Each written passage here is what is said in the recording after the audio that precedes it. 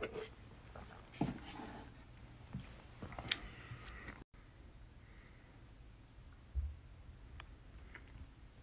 going on, Tracy? How you doing? Rise, what's up? Just give it a couple of minutes, you guys.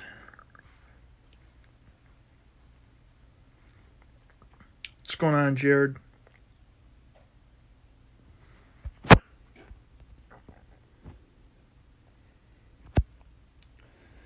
Give it a couple of minutes, you guys, then we'll talk. Just wait for a couple of people to get in here.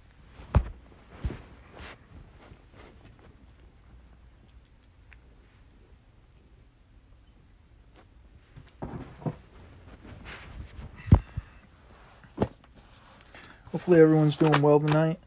Um, we're going to be talking about some interesting stuff as it is. If you guys want to, um, as we build this up, if you guys want to share this video as it is, or this live to other people, because I'm trying to bring futurists in here.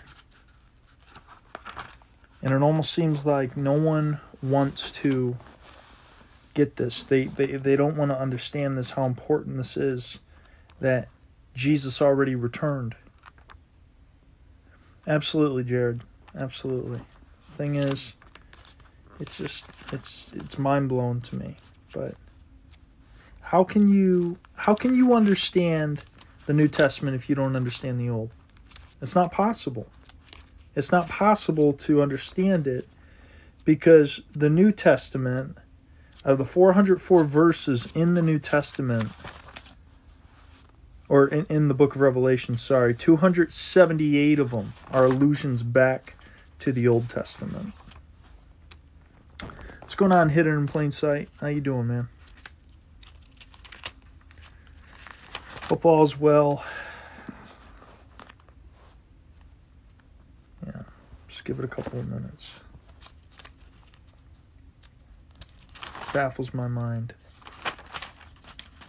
really baffles my mind. It really does.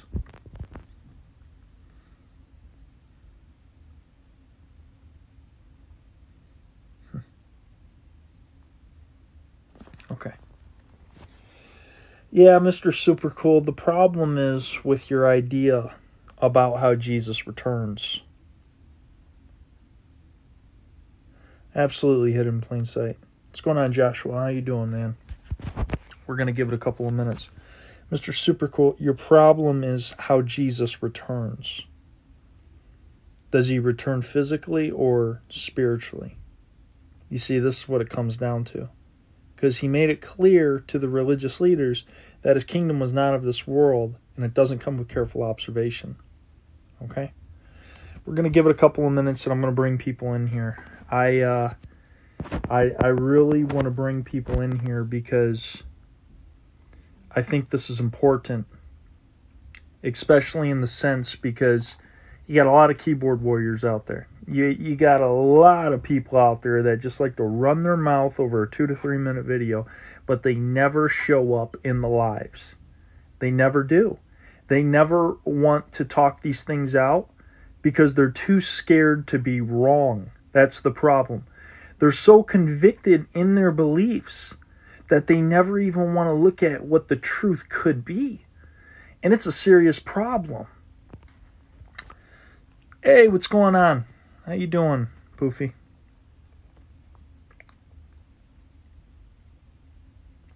I'm going to give them time to show up, absolutely. None of them ever seem to want to show up.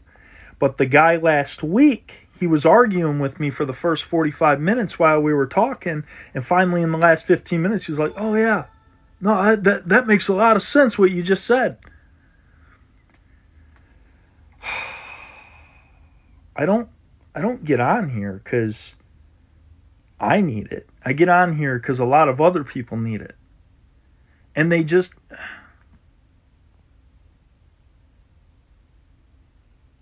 Yeah, I I'm I, am to get back on with Christy again sometime. She just Christy basically just said, "Oh, I can't really say anything against yours," but it sounds a lot like mythology. Well, the thing is, a lot of Christianity. Here, here's the thing that people don't realize.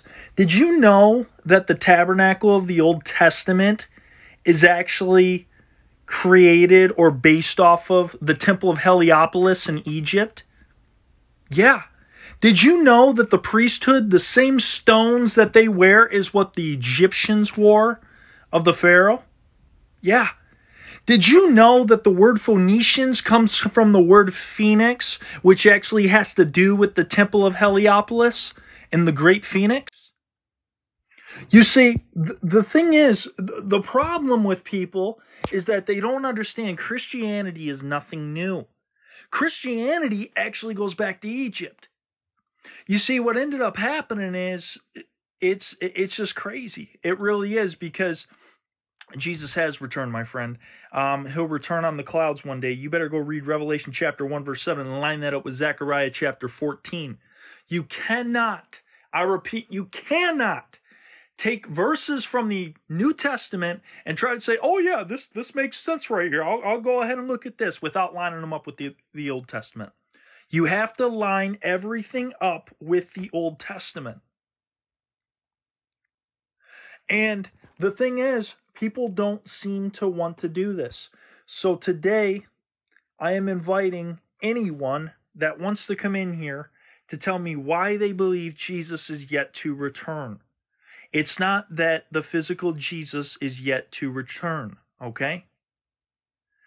So, yes, the thing is, the problem is you're looking for him on actual physical clouds when Jesus told you his kingdom wasn't of this world. He said, My kingdom does not come with careful observation. He told Pontius Pilate, Pontius Pilate asked him, he was like, You're a king, aren't you? He's like, You say I am, but my kingdom is not of this world. If my kingdom was of this world, my people would fight on my own behalf. That's John 18 36. So here's the thing with everything that's going on, we have been lied to. We have been deceived. Yeah, yeah, absolutely. The the thing is, warrior for Christ, Joshua, the I think the whole Jewish narrative today is being played out if you want the truth, look at Egypt.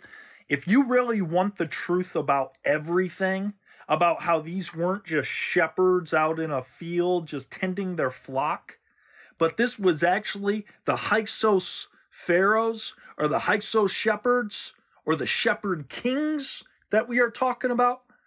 Abraham, Isaac, Jacob, the patriarchs, they were wealthy men. These were wealthy men. According to Josephus, he said that Abraham didn't have 300 servants at his command to go into the valley of slaughter to rescue Lot. He said he had 318 officers at his command. You know what that would mean if he had 318 officers at his command? That would mean he would have 30,000 soldiers under his own command. This is Abraham. And if Abraham had 30,000 soldiers under his command, that means there's only one person that could have that type of power within that era. And that was the Egyptian pharaohs. Okay? There's a lot that we are not told. There is a lot that we do not realize, we do not understand because they have hid it from us. Christianity originates in Egypt. The words that we get from Hebrew actually have Egyptian origins. A lot of the words that we have, such as the word Phoenicians. Phoenicians comes from the word phoenix. Phoenix was actually the animal or the symbol they set up at the temple of Heliopolis. It's all hidden. Yo, what's up? Hey, what's going on, Will? How you doing, man? Uh, pretty good. It's about that time of night where I start debating people and my blood starts rising. okay, all right. So let, let me ask you do you believe Jesus is yet to return? Do I believe he's coming for the second time? Yes. Yes, okay. All right, so how, let, let me ask you this, Will. Where, where are you from? Uh, how long have you been studying Scripture? Um, are you a part of a denomination? What's going on? I am 26 years old. I'm from North Carolina, and I grew up Christian, but I didn't really understand any of it until I went to college, fell away from the faith, and then came back. And so I guess I would say like a year, like uh, no, not a year, probably like two or three years. Okay, so so you've been studying for about two, three years. Yeah. Okay. All right. So, um, here's here's fir- first off what I want to say. Um, okay. So so you believe Jesus is returning? What verses uh, do do you want to look at? Let Let me ask you that. Uh, I mean, we can look at the book of Revelation if you want to. You certainly can. Okay. Let's start there, and we'll go from there. Okay. Okay. All right, All right. let me pull it up right now while you look up whatever you got to look up. Okay, I, I don't need to look up anything. I, I got my Bible right now. Um, matter, uh, yeah, we'll we'll- talk. That's fine. It's fine. We'll we'll talk, man. So you've been studying a couple of years, all right? You went to seminary school. No, no, no, no, no. I'm just a normal dude. You're just a normal guy. Okay, so you've been studying about two. I would actually love to do that though. No, uh, dude. No, no, you wouldn't. Why do you say that? Seminary skill it, school is actually built upon the foundation of what they want to teach the people. They it's it's basically built upon a deception. This is why you have men like David Jeremiah, John MacArthur, different John Hagee. They have all these perishers and and all these people that follow them because they make this big money. It's all scam. Okay, seminary school is a scam as well because the thing is you can learn all these things through the Bible and it says specifically in the Bible that the Holy Spirit is your, your teacher. Okay, I agree. Yeah, I would. I would agree that it's definitely not required to go to seminary school to be a um, pastor or preacher or teacher. I would just go Absolutely. strictly, and maybe not even seminary school. Just like, I guess, what would you call it? Just biblical studies or something. I yeah, I, I I guess you could say biblical studies. Yeah. Um the main thing what what I would say in order to understand the New Testament, you have to understand the Old Testament. Okay? I agree. You you have to understand the Old Testament because the Old Testament, a lot of the language that is used is a lot of the language that comes from the book of Revelation. So Yeah. out of the 404 verses that are in the book of Revelation, 278 of them allude back to Old Testament imagery. So okay, I agree with that. yeah, yeah, yeah. So, so, um, basically, where, where, where do you want to start tonight? I, I, I have a while. We can, we can go over this. Um, let's just come together and reason. All right. Okay, I believe. Um, let's start here. I believe that Jesus, hundred percent, is going to return for the second time, and we can just start at the defeat of Satan. Do you care if I read this a little bit? Just like a couple. Absolutely, absolutely. That, that's fine. Okay. And when the thousand years are ended, which we've all been taught is the millennial reign. Yes, I know that some people believe it comes at different times, but millennial reign. And when the thousand years are ended, Satan will be released from his prison and will come out to deceive the nations that are at the four corners of the earth, Gog and Magog, to gather them for battle. Just on this account alone, I feel like it hasn't happened yet. Okay. So- All right. You Would have had all right, dude. You're you're you're right on the money with this. Okay. I'm I'm going to tell you why. Because when uh, it, it was about three to four years into my studying, I turned into a partial preterist. Okay.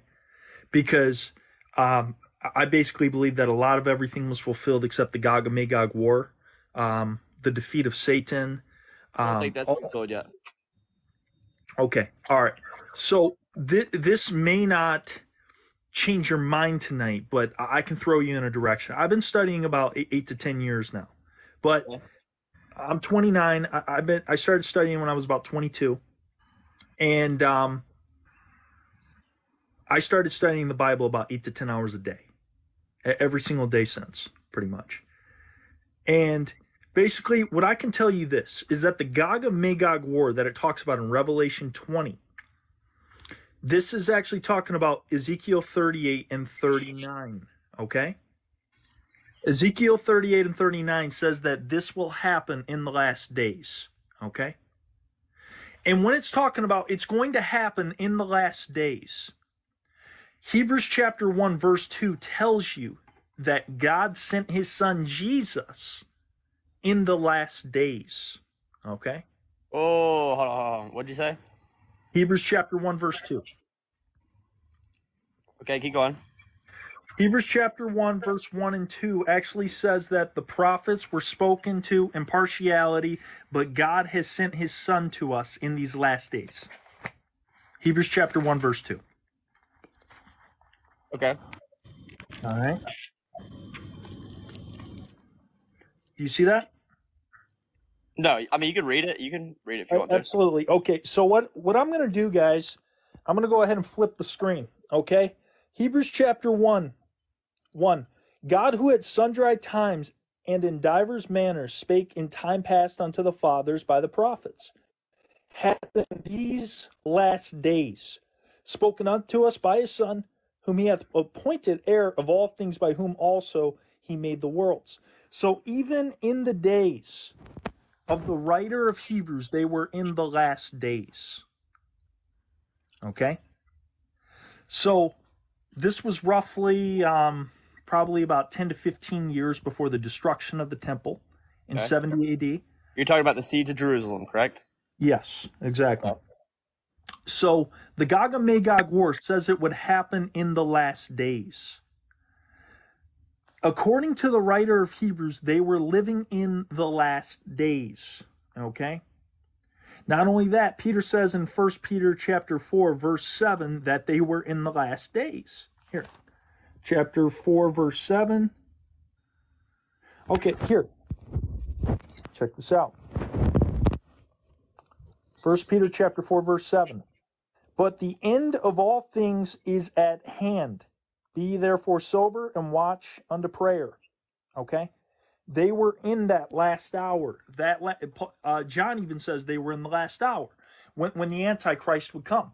But needless, needless to say, what has ended up happening is that they were in the last days in that very time period, and the Gog and Magog war would happen in the last days of that time period. So, what are you suggesting as to what time period do we live in today? What would you call that? All right. We live in the kingdom of Christ, but here's the thing it's that people aren't waking up. The elite have held us under their control to keep us down in a spiritual consciousness that is lower than what we could be in because they keep on teaching us Jesus needs to return. Jesus needs to return. All these things need to happen. My friend, all of this is being geoengineered by the elite to keep us in a lower frame of mind. Why do you think that when you go to Barnes and Noble or different places, the only books that are up on the shelves when it comes to the Christian section are futurist books?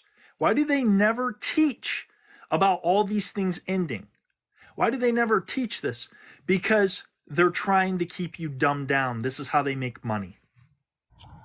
Uh, I would. I disagree with that. That's fine. But the Bible, it's not about me or you. It has nothing to do with what we say. It has to do with what the Bible says. And the Bible says in the book of Hebrews, they were in the last days. Yes, but we also know that a day with the Lord is like a thousand years. So in reality, it's only been maybe a couple of days in heaven. I, I used to believe this as well. You're talking about Second Peter chapter three. Um, in this chapter, when it's talking about this, this is the only verse that a futurist can truly use to try to justify their means.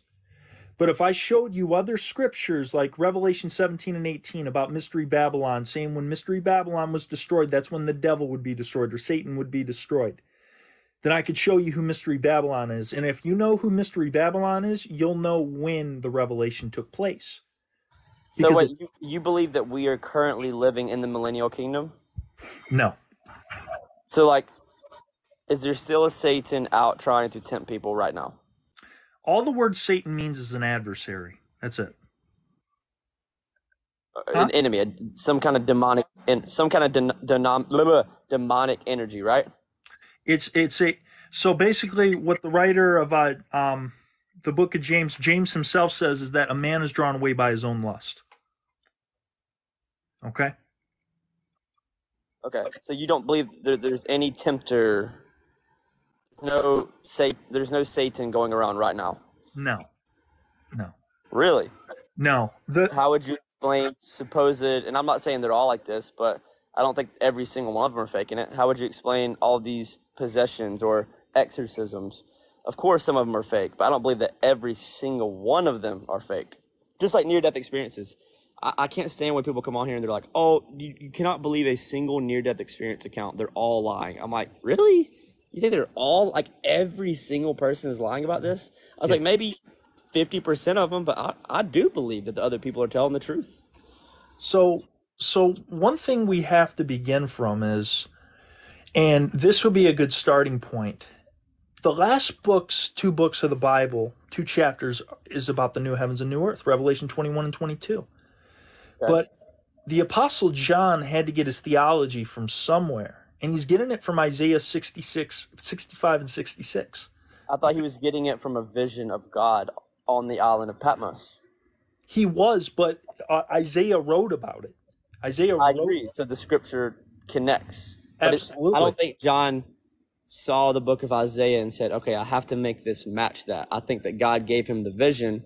And when he wrote it, people hundreds or decades, whatever, later found, oh, these, these match perfectly because it's the word of God. Exactly.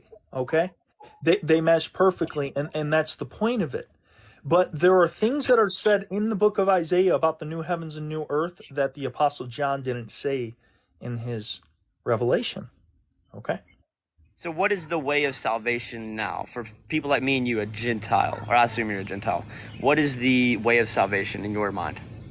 So, according to the new heavens and new earth, it talks about how a child shall still die, but the sinner will still be accursed. Okay? Even in the new heavens and new earth. That's Isaiah 65, verse 20. Okay? I oh, I think you're referring. I think that's referring to the millennial kingdom. Are you are you talking about the verse where it says that the child, like it would be a devastation if a child died at the age of 100? Are you talking about that? Yeah. Yeah. Yeah. See, I believe that that's the millennial kingdom. I had this talk with someone a couple days ago, and it's clearly talking about the new heavens and new earth. Because if you go three That verses back. So Huh? is there sin? Is there sin in heaven? there's still sin in the new heavens and new earth. I cannot believe that for a second. then let, let, let me show you what the Bible has to say. Because it's not what we have to say, it's what the Bible has to say, right? For the wages of sin is death. But the free gift of God is eternal life in Christ Jesus our Lord. Romans 6.23, I agree. All right? But the, the, the thing about it is, is that with this, when it comes to this, Isaiah is making something clear right here. Check this out. Isaiah chapter 65, right here. Let's start from verse 17. Okay?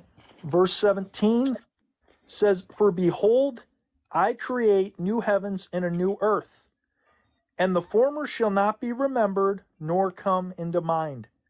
But you glad, but be ye glad and rejoice forever in that which I create. For behold, I create Jerusalem a rejoicing and her people a joy. And I will rejoice in Jerusalem and join my people, and the voice of weeping shall be no more heard in her, nor the voice of crying. There shall be no more thence an infant of days, nor an old man that hath not filled his days. For the child shall die at a hundred years old, but the sinner being a hundred years old shall be accursed. So there's children that still die, and there's sinners that are still accursed in the new heavens and the new earth. Okay? So this is the connection point right here. It's connecting. There, there's Revelation 21, on the other hand, verse 1 says, Behold, I, John, saw new heavens and new earth. There was no more sea, and death was no more. Yes. Okay. Okay. So how how do we connect these? How is it that a child still is going to die? There's death, but then there's still no more death. Because okay, I know this is a very unpopular opinion, but according to the pre-tribula- pre-tribulation rapture theory, I'm not saying I subscribe to that, but according to that theory, we believe that or they believe that the church is raptured out and then they come back with Christ. Correct me if I'm wrong, chat. They come back with Christ to Uh-huh. rule and govern the nations. So those people would technically be immortal because they've already been raptured. But there will still be I guess sinners is what you would call them, mortals living outside of the gate. They're still under the rule of Jesus, but they're still li- they're living outside the gate. It's like Jesus is the one world perfect government, but the new new heaven and the new earth hasn't yet been created. If that makes any sense. Okay, so there's so let let me get this straight. So in Isaiah's writing, he says that there's death and there's sin, but in John's writing, he says there is no more death. Yeah, we Isaiah could be referring to some other fulfillment that I just I lack the knowledge of that maybe has already happened. I don't know. I don't maybe he's referring to a random point in the end times theology. I'll tell maybe. you what it I, will tell you what I believe it means, okay? And I it, there there's no contradiction whatsoever here. None whatsoever. Isaiah 65 and 60 talking about the new heavens and new earth. There is still death. There is still sin but when John speaks that there's no more death, this is the word thanatos. It's the Greek word for that of the old covenant. It's talking about the old covenant coming to an end. So when the old covenant comes to an end, what ends up happening? Death is destroyed. Paul uses 1 Corinthians chapter 15 to talk about death. He says the sting of the law is sin, and uh, uh, basically where there is no law, there is no more sin. Okay? So First Corinthians chapter 15 talks about this, but Paul got his theology from a certain chapter in Isaiah. Isaiah chapter 25. Isaiah chapter 25 talks about how on the mountain of Sinai there is a veil that has been placed over all the nations that has made them uh, like like into death like it's the it's a veil that's of death but the veil shall be ripped off their eyes and they shall have death no more it's talking about the old covenant Okay? It's talking about the old covenant being ripped away. That is death. And then the new covenant comes. It's not talking about physical death. Physical death is always here. Because where there is flesh, there is death. Okay? Okay.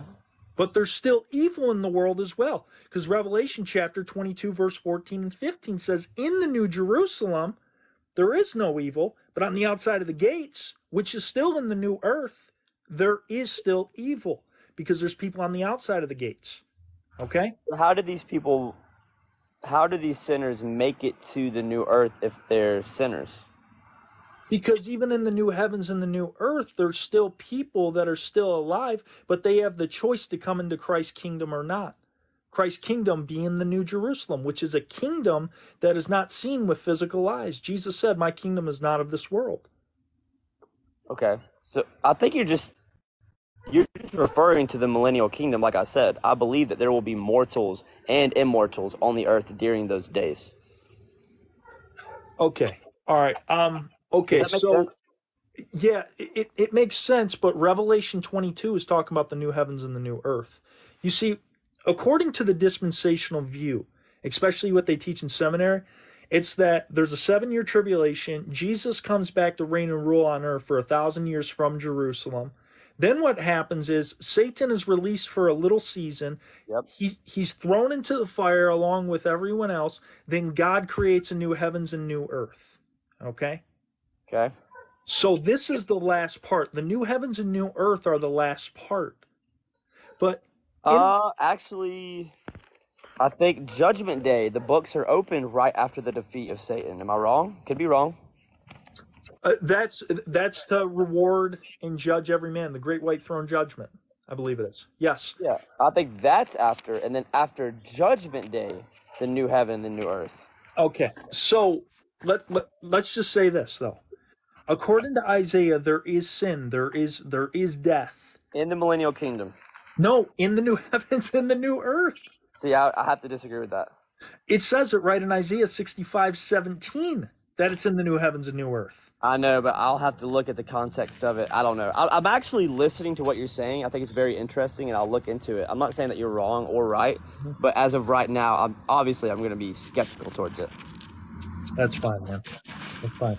No, no worries, man. I, I appreciate you. I appreciate you coming in here check it out when, when you get a chance. Basically, it's kingdom that will never be destroyed because it has been set up, but it's up to us now as ambassadors of the kingdom to bring heaven to earth. Wait, hold on, hold on. What you okay? We, we were talking about the defeat of Satan, and you said the new heaven and the new earth is right after that, correct? It's the great. Is it the great white throne judgment, then the new heavens and new earth? Yeah, so it's the defeat of Satan, then the judgment before the great white throne, and Mhm. then the new heaven and new earth. Because this is what I'm saying. This is why there's no way. It actually disproves it right here. It says, Then death and Hades, death and Hades were thrown into the lake of fire. This is the second death, the lake of fire. And if anyone's name was not found written in the book of life, he was thrown into the lake of fire. Then, hence, then, post, post that, then I saw a new heaven and a new earth, for the first heaven and first earth had passed away, and the sea was no more. And I saw the holy city, New Jerusalem, coming down out of heaven from God, prepared as a bride adorned for her husband.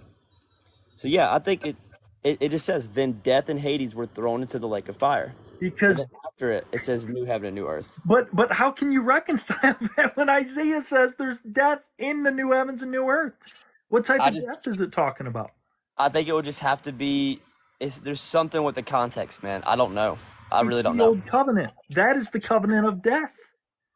It's it's death being thrown in because it's the old covenant. So how do you reconcile then death and Hades were thrown into the lake of fire?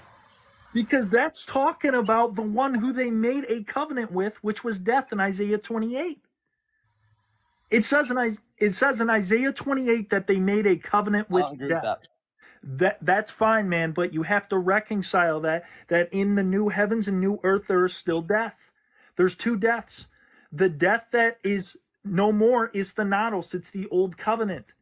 As long as there's flesh in earth, there's always going to be physical death. That doesn't make any sense because right here in the new heaven and the new earth section of Jerusalem, it says, And he who was seated on the throne said, Behold, I am ma- making things new. If Yes. death is a continuous part of life, then newness, something's got to be new.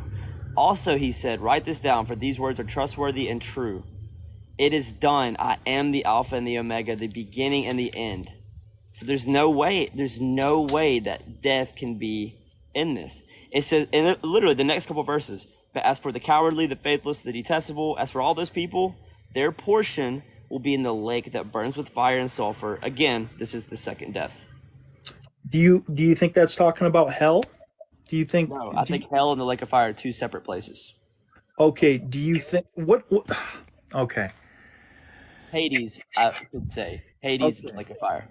all right this there's the, there's a lot more to this but basically who who do you think mystery babylon is That's a very good question. Um, I've heard people say that it's the Roman Catholic Church.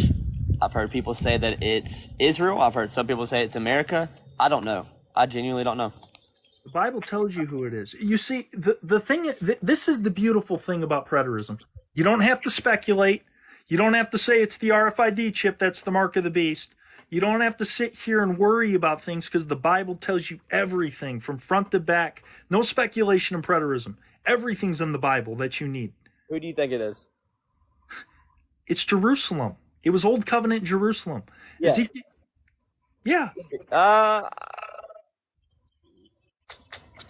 that doesn't make any sense because the Babylonians took Daniel as a slave to Babylon, yeah. and Israel was founded before that. You, you you just nailed something. There's there, there's a key to this in Revelation 18 verse 23. It says, "The voice of the bride and the bridegroom shall no more shine at all in thee." Where's this verse coming from? Jeremiah chapter 25 verse 10, which is talking about the Babylonian captivity, which is talking about when Israel went into captivity. So you think that Babylon and Israel molded together during the Old Testament days?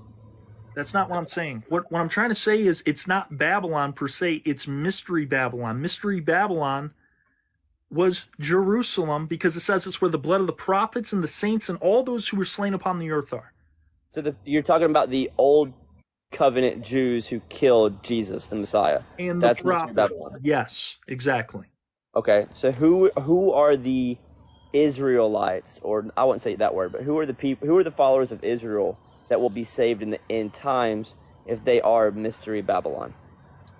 Well, Romans, you're talking about Romans chapter 11. You're talking about the olive branch. You're talking about how all Israel will be saved, right? Yeah. Paul got his theology from Isaiah chapter 27 within this. Wait, uh, wait. Mr. Super Cool actually just had a really good point. Uh-huh. He said Israel still doesn't believe in Jesus. That proves that Jesus hasn't returned yet. That's not true at all because Paul says in Galatians 6:16 that we are the Israel of God. It's a spiritual Mm. covenant. See, I. So, what was the whole purpose of Israel reforming in 1948?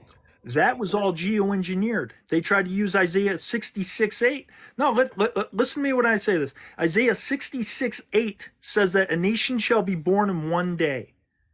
They have been trying to use this is what John Hagee does, David Jeremiah, these seminary schools, they try to say that 1948 Israel is, confirms that verse. No, it doesn't. Peter tells you when a nation was born in one day, and it was on the day of Pentecost. But he That's when told the the Gentiles.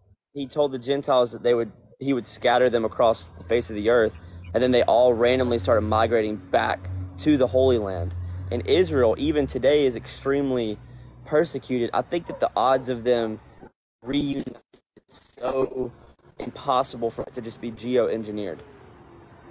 Okay, all right. Well, here here's the thing about this. Did you know that the pre-tribulation rapture was actually funded by a man named John Nelson Darby and C.I. Scofield? Have you ever heard that? Yes, and again, I'm not. I'm actually. This is gonna make so many people mad, but I don't think that I believe in the pre-tribulation rapture. Okay, all right. But I do let- believe in the let's get away post-tribulation rapture.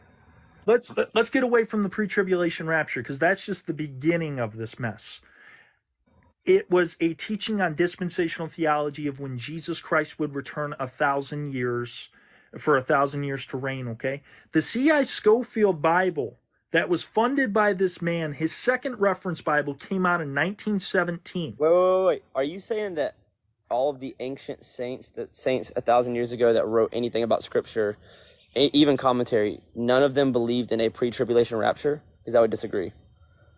Yeah, the the thing is, I would say that they wouldn't. Maybe the Roman Catholics did at some point, but I wouldn't say anyone up to the third or fourth century. But was it their hope that Jesus would return? So there there was a man named Origen, and around uh, No, I'm saying the disciples. no, uh, yeah, their their hope was in that generation.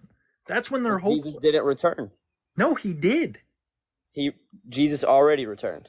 Jesus already returned. It was a spiritual coming. Do you know that there were multiple returns of God in the Old Testament? So Multiple comings of God. if Jesus already returned, explain like explain that to me. I know that people say okay, who like who would had the antichrist have been? And yes, I know the antichrist isn't technically one person, but who would have been the son of perdition, the antichrist of that time? Nero?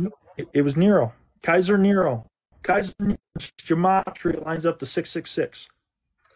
I agree with that. I believe that his number is that, but I think that history and the future is a will within a will, and I think that certain things repeat itself. So Just- so you you are right. Every generation has a type of. It seems like uh, future coming or whatever you would want to say. But the biblical eschaton happened in the days of the first century church. That's when it was to occur. If Jesus already returned, that would make me doubt his power so much because there's still so much evil in the world. You just answered your own question why the Pharisees doubted him. No, the, the Jesus Jesus performed miracles on the earth during that time and performed many many fulfilling prophecies of that time. Like for example, the Revelation says that he's going to ride a white horse, correct? But he rode a donkey. So I think that's just like the foreshadowing of his future coming. Okay, all right. So let let, let me ask you this. Wade, you're probably right. let, let, let me ask you this. And I want you to really think about this and, and let this sink into your mind, okay? When Jesus came the first time, when they wanted a Messiah, every single person on here listen to this. When Jesus came the first time, what did the Pharisees and the religious leaders expect the Messiah to be? A king. a king, a trampling, overcoming king that was going to bring a physical kingdom that was going to overthrow the Romans or overthrow those who were in world power But we, that but we aren't we aren't under the law anymore though. I'm not saying, dude, li- listen to what I have to say. I'm listening. The Messiah to the Pharisees was a man that was going to overthrow Rome and destroy them, bring a physical kingdom. That was their opinion. No, no, this is even what Nicodemus believed. You're not listening. I'm Listen listening. to me, okay? I'm listening. when when Jesus came, they wanted a Messiah to overthrow the Roman Empire or the world power of that time. Agree. Agree. What does Christianity want today? They want a Messiah that is going to overthrow the powers of this world, just like the Pharisees believed in the first century. The exact same. Wait, hold on, hold on. I think I have a verse that's fulfilling what you're saying right now, but contradictory to what you're saying.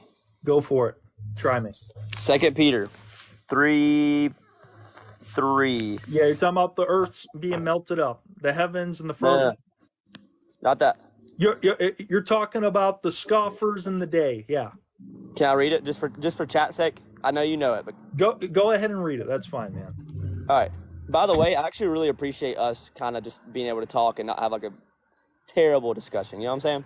I appreciate that. Absolutely, man. Absolutely. All right.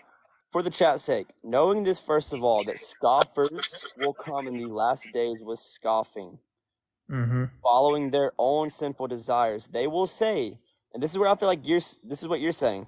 Where is the promise of his coming? Where is the promise of his coming? Where is he if he's going to come back?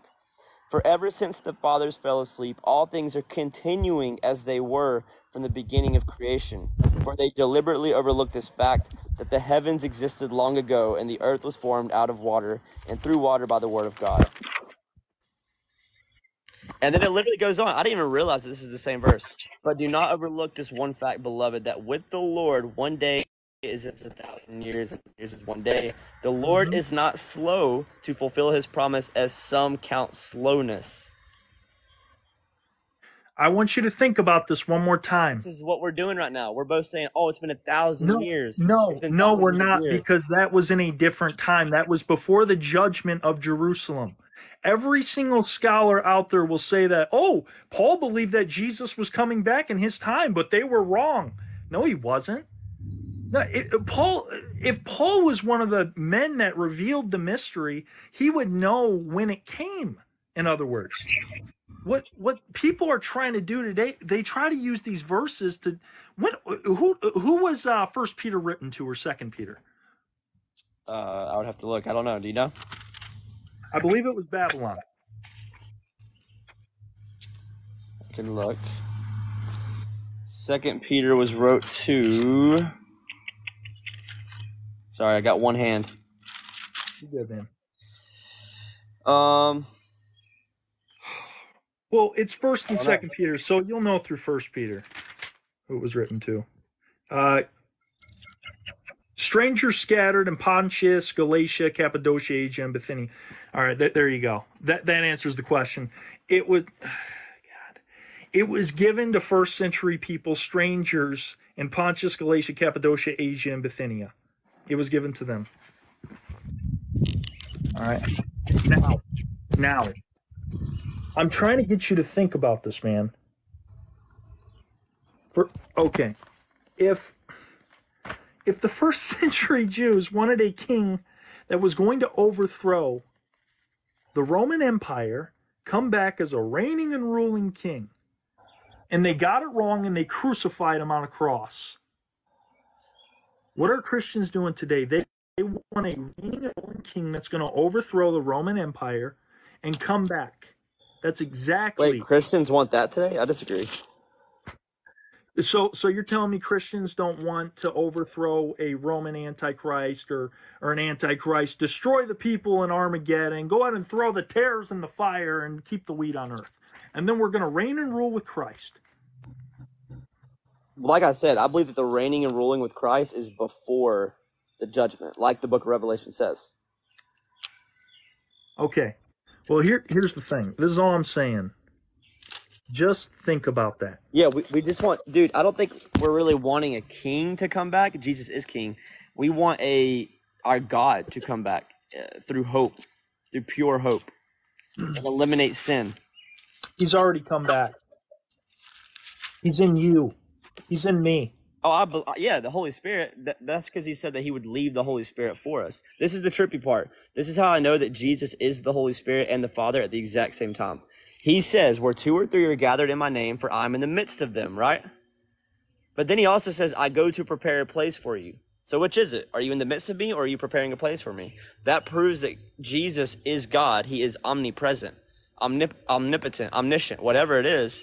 He is all of it at the same time. Does that make sense?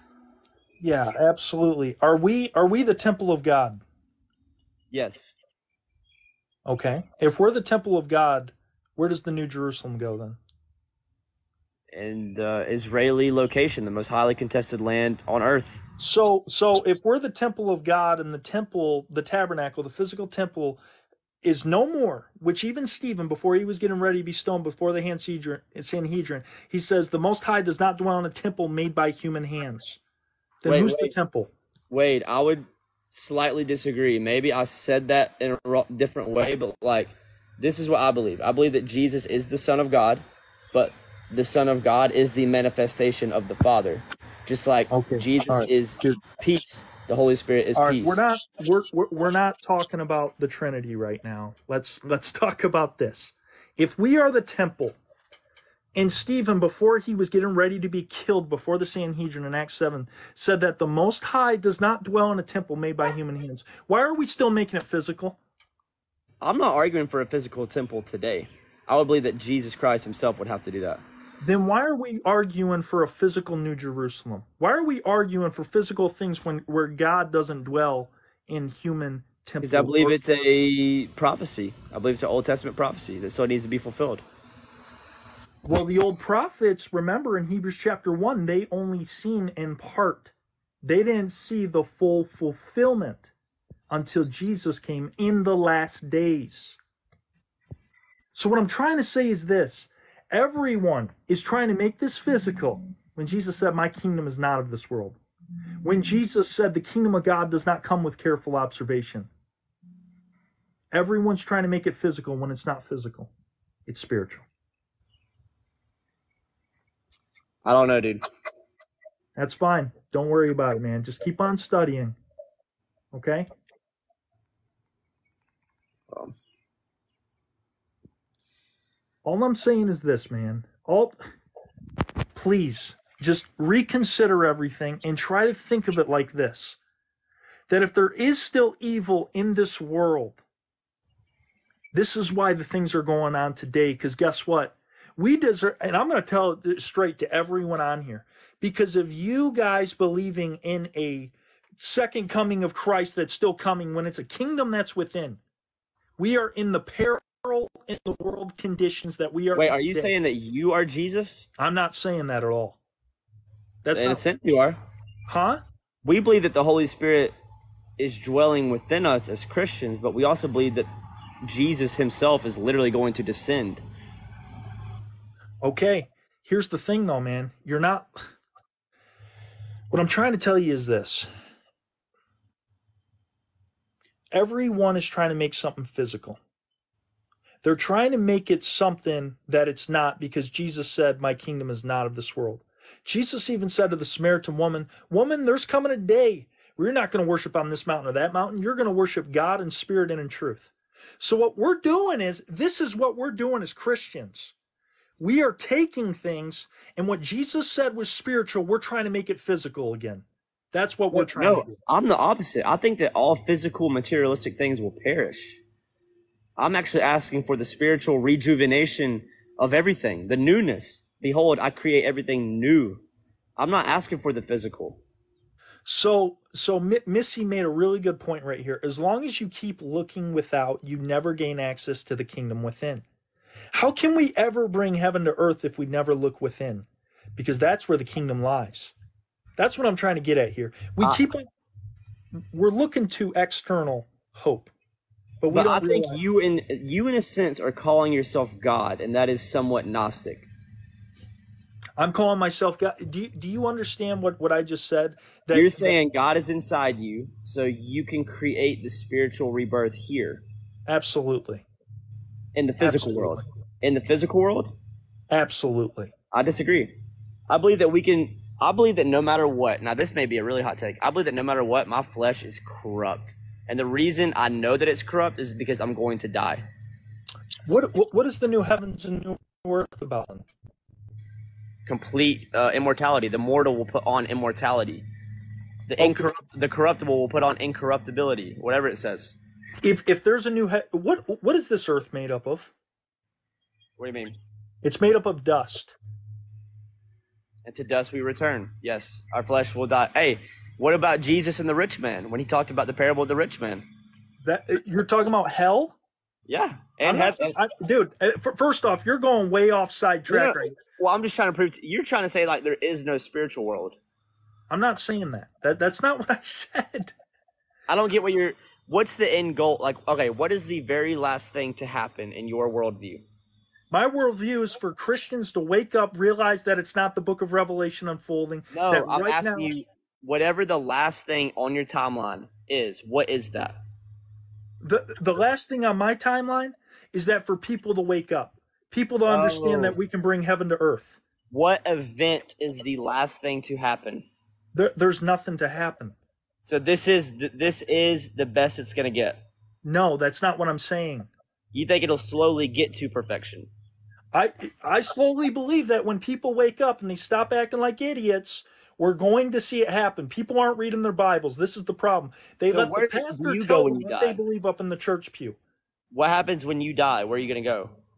What happens when I die? I'm going to heaven. I'm going to be with Jesus. But if there is no eternal new heaven and new earth, why would you go to heaven if you can't go back to your body? Wait, what? I don't get it. I don't get what I don't get what your end goal is. You're just saying over time humans are gonna slowly become just perfect.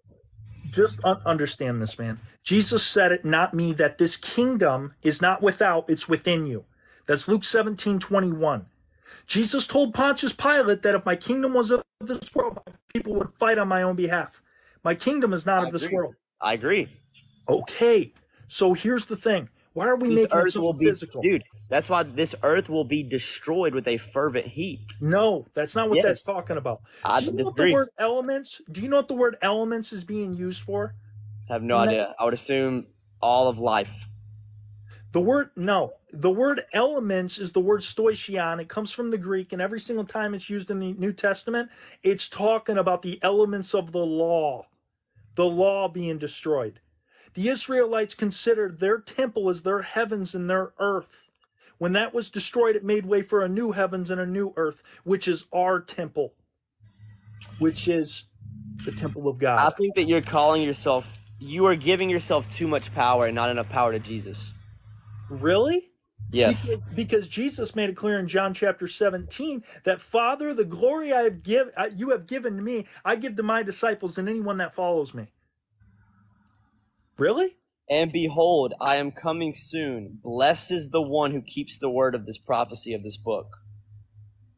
I am coming soon. He, he even says at the very end, He who testifies to these things says, Surely I am coming soon. I don't think if if okay, let me ask you this. This might destroy your worldview. When was Revelation written? Oh boy, we're going to go here. It No, was just, no, written no, no, just roughly, just roughly. It was written around 64 65 AD. After what? 64 years after 64 65 AD about 5 to 6 years before the destruction of the temple. but how many years after the death of Christ? It was written about 30 33 years after Christ. So if we had already received the Holy Spirit at that point, then why would he say, Surely I am coming soon, 60 years later? because that was talking about for the Israelites. In the book of Hebrews, and it, listen to me, I'm going to use the Bible right now to let you know. In the book of Hebrews, it says the old covenant, covenant was coming nigh unto passing. That was during, after the cross, that was during the evangelization mission of the apostles. It said the old covenant was coming nigh unto passing. It still didn't pass. Why didn't it pass?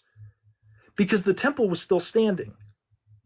So when the temple was destroyed, when the day of the Lord occurred, the great and dreadful day of the Lord occurred, that says in Malachi chapter 4, verse 5 and 6, that Elijah would come. Before that day, that was John the Baptist that was coming to heed the warning, to tell them to flee from the wrath to come. And it even says that the axe was already laid to the root of the tree. So it happened back then. It was for the first century audience. And if you want the kingdom now, you can have the kingdom.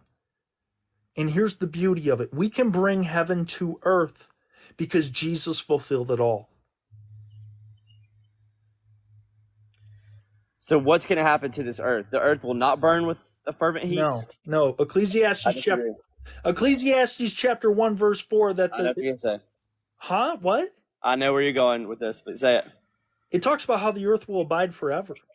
Yeah, but you also have to admit that the book of Ecclesiastes is a very philosophical book. Philosophical book, and he he exaggerates Okay. scientific truth in it a little bit. Okay, all right. So let, let, let's just throw that to the wayside. What, what about the argument I made about the elements with fervent heat, the word elements being used every single time for the word stoicheion in Greek? It means the law. Every single time it's used. I don't Is know. that- I would also have to do a speech context thing for that because I I don't know. I'm not saying I can't trust you, but I can't trust you. That's fine, man. You don't have to trust me. Okay? What's your hope in? I don't. What's your hope in if you're just gonna die and everyone's gonna die and what's your hope? My, my hope, well, Jesus already returned. He did what he said he was going to do. We are under the new covenant because it's an everlasting covenant. My hope now. we're in the new covenant. Okay. My hope now is that people will wake up to the deception that's played over our eyes. And then what? Let's say they wake up. Then what? Well, once they wake up, heaven can come to earth. Jesus said it. Give me an example on earth where there's death and hell and sin, but it's perfection at the same time. To me, that doesn't make any sense. Slow, sl- slowly over time, when people start to wake up, when the futurist books aren't being pushed out to the mainstream public, when David Jeremiah, John Hagee, and all these guys lose their support, when the seminaries stop spewing the garbage they do because it's ran by the elite, we will not have the wool played over our eyes and, and we will wake up to the truth and heaven can come to earth. Jesus said it on earth as it is in heaven. Okay? Yeah, I think that's saying like, I think that uh, what's the, what's the dude's name? Dakota Day or something like that. I follow him. I don't know if you do. He made a really cool uh, analogy. He was saying that Earth, everything on Earth was like the shadow of heaven.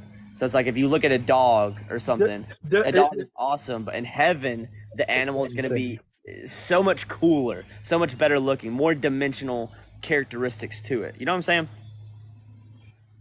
The call of day, Ryan, dead hidden. Him and I had a debate two years ago. The only thing he goes off of is speculation, talking about how it's a wheel within a wheel. All yeah, I agree does- with that. Okay.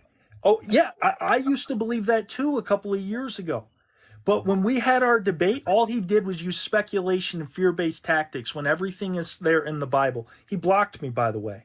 He What blocked would, what would you do if a world leader came together and somehow, somehow brought all the nations together and unified them into one world religion? Would you believe that that is the Antichrist, and would you agree that you were wrong if that No. happened? No, I wouldn't. If No. that happened, No, I well, wouldn't.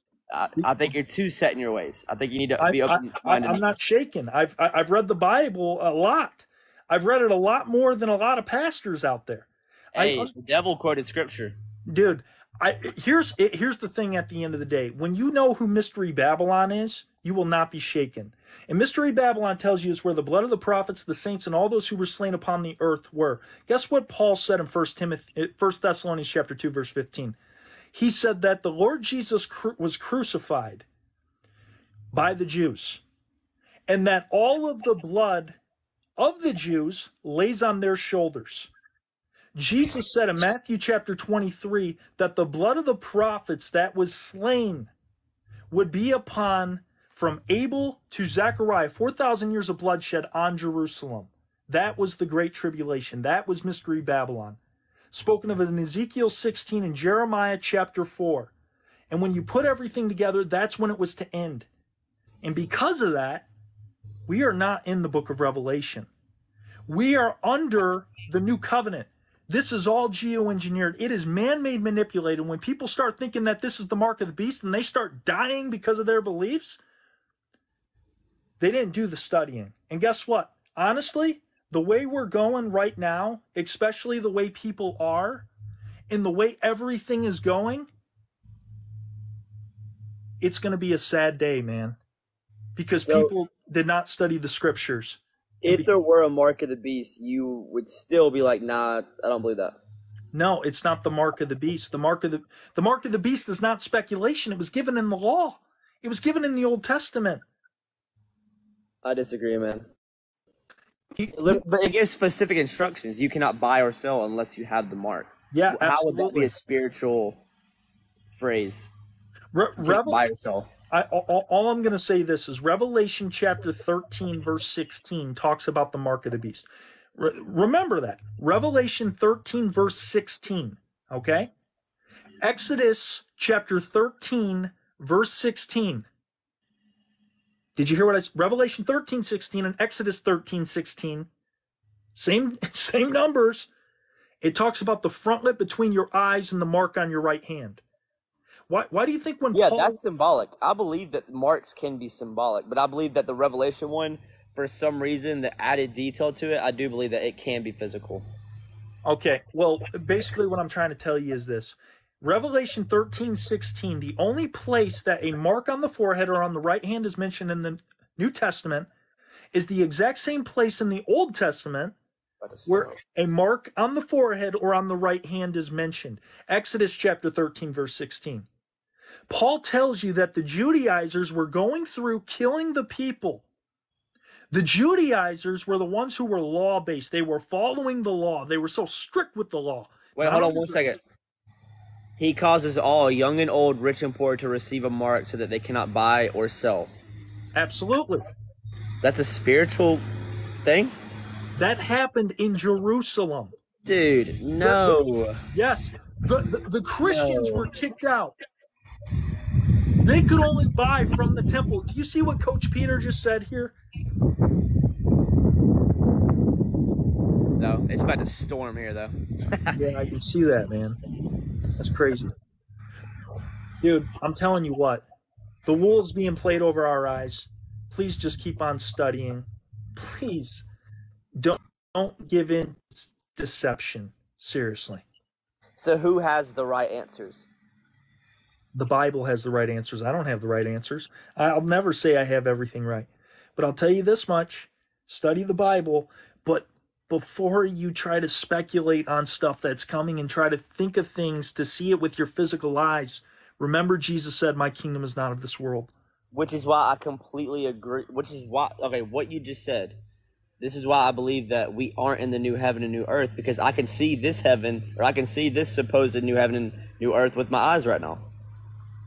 Second Corinthians chapter Because 5 verse 7. new to me. Second Corinthians chapter 5 verse 17. Paul says that therefore if any man is in Christ, he is a new creation. Behold, Yeah. all things have become new, old things. Yeah, I believe that his soul is saved, but the flesh will still die. As long as there's an earth, a new heaven. A, thi- Wait, think sir, about this is why he said you must be born again. in order to see the kingdom. Uh, yes, you must be born again. Okay, then what is the kingdom if it's being born again? The kingdom is the heavenly, eternal place of God. And there's no way that it's this right here. As beautiful as earth may be, this is not the new heaven and the new earth. I just, I cannot believe that. That's fine. Well, guess uh, what? Does the flesh pass away? Yes, Okay, so let me ask you this: What is your flesh made up of? dust. There you go. So I it's know earth. you wanted to say that. So it's earth. Therefore, if the new heavens and the new earth are around, that means the new earth is dust. It's made up of dust. So your flesh always. No, he said, Behold, I make all things new. Do you So do you not some kind of understand? new- Do you not understand what I just said? What is the earth made up of? Why, wait, why did he say the mortal will put on immortality? Because it's talking about Isaiah chapter 25. It's talking about the destruction of the veil that was placed over the people's eyes on Mount Sinai so that they would come under the new covenant. This is from Isaiah 25. It's So not when just some. Jesus descends with the voice of an archangel and the dead in Christ rise first, you think this has already happened? That happened. It's done. First Thessalonians chapter 4 already happened. Paul said it's we who are alive and remaining. We. Not us. We. He was talking about himself. Yeah, Linda, I agree. If Jesus is reigning on the earth right now, he's not doing a very good job. Be- be- Because you don't understand that he's reigning through you and you're not doing your job. So what is Jesus supposed to do? Jesus already returned. I disagree. Okay? He returned in the power of the Holy Spirit. When we get to heaven, we'll see him. Okay? But until then, you are the one that has the power to bring heaven to earth. It is Hi, our job. It's starting to rain here and the winds are it's starting to rain here and the winds are picking up. I gotta let you go. Bless you, man. Have a good one. Yeah. Blessings. Do you guys not understand? We are the ones with the power on heaven. All right. Who wants to come up?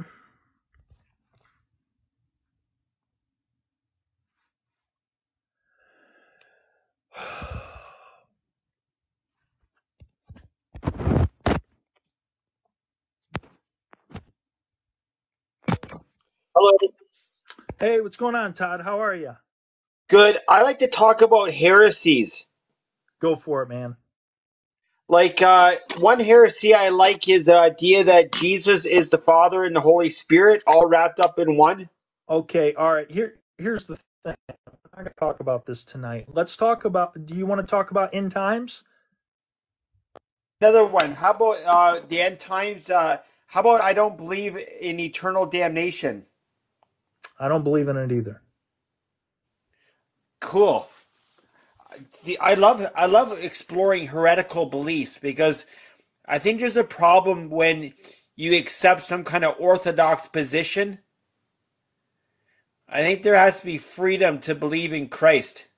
A- absolutely. Uh, well, the Lord wants us to think outside of the box. He doesn't want us to be held up in religious doctrine, traditions of men, and that's where this Orthodox faith comes in.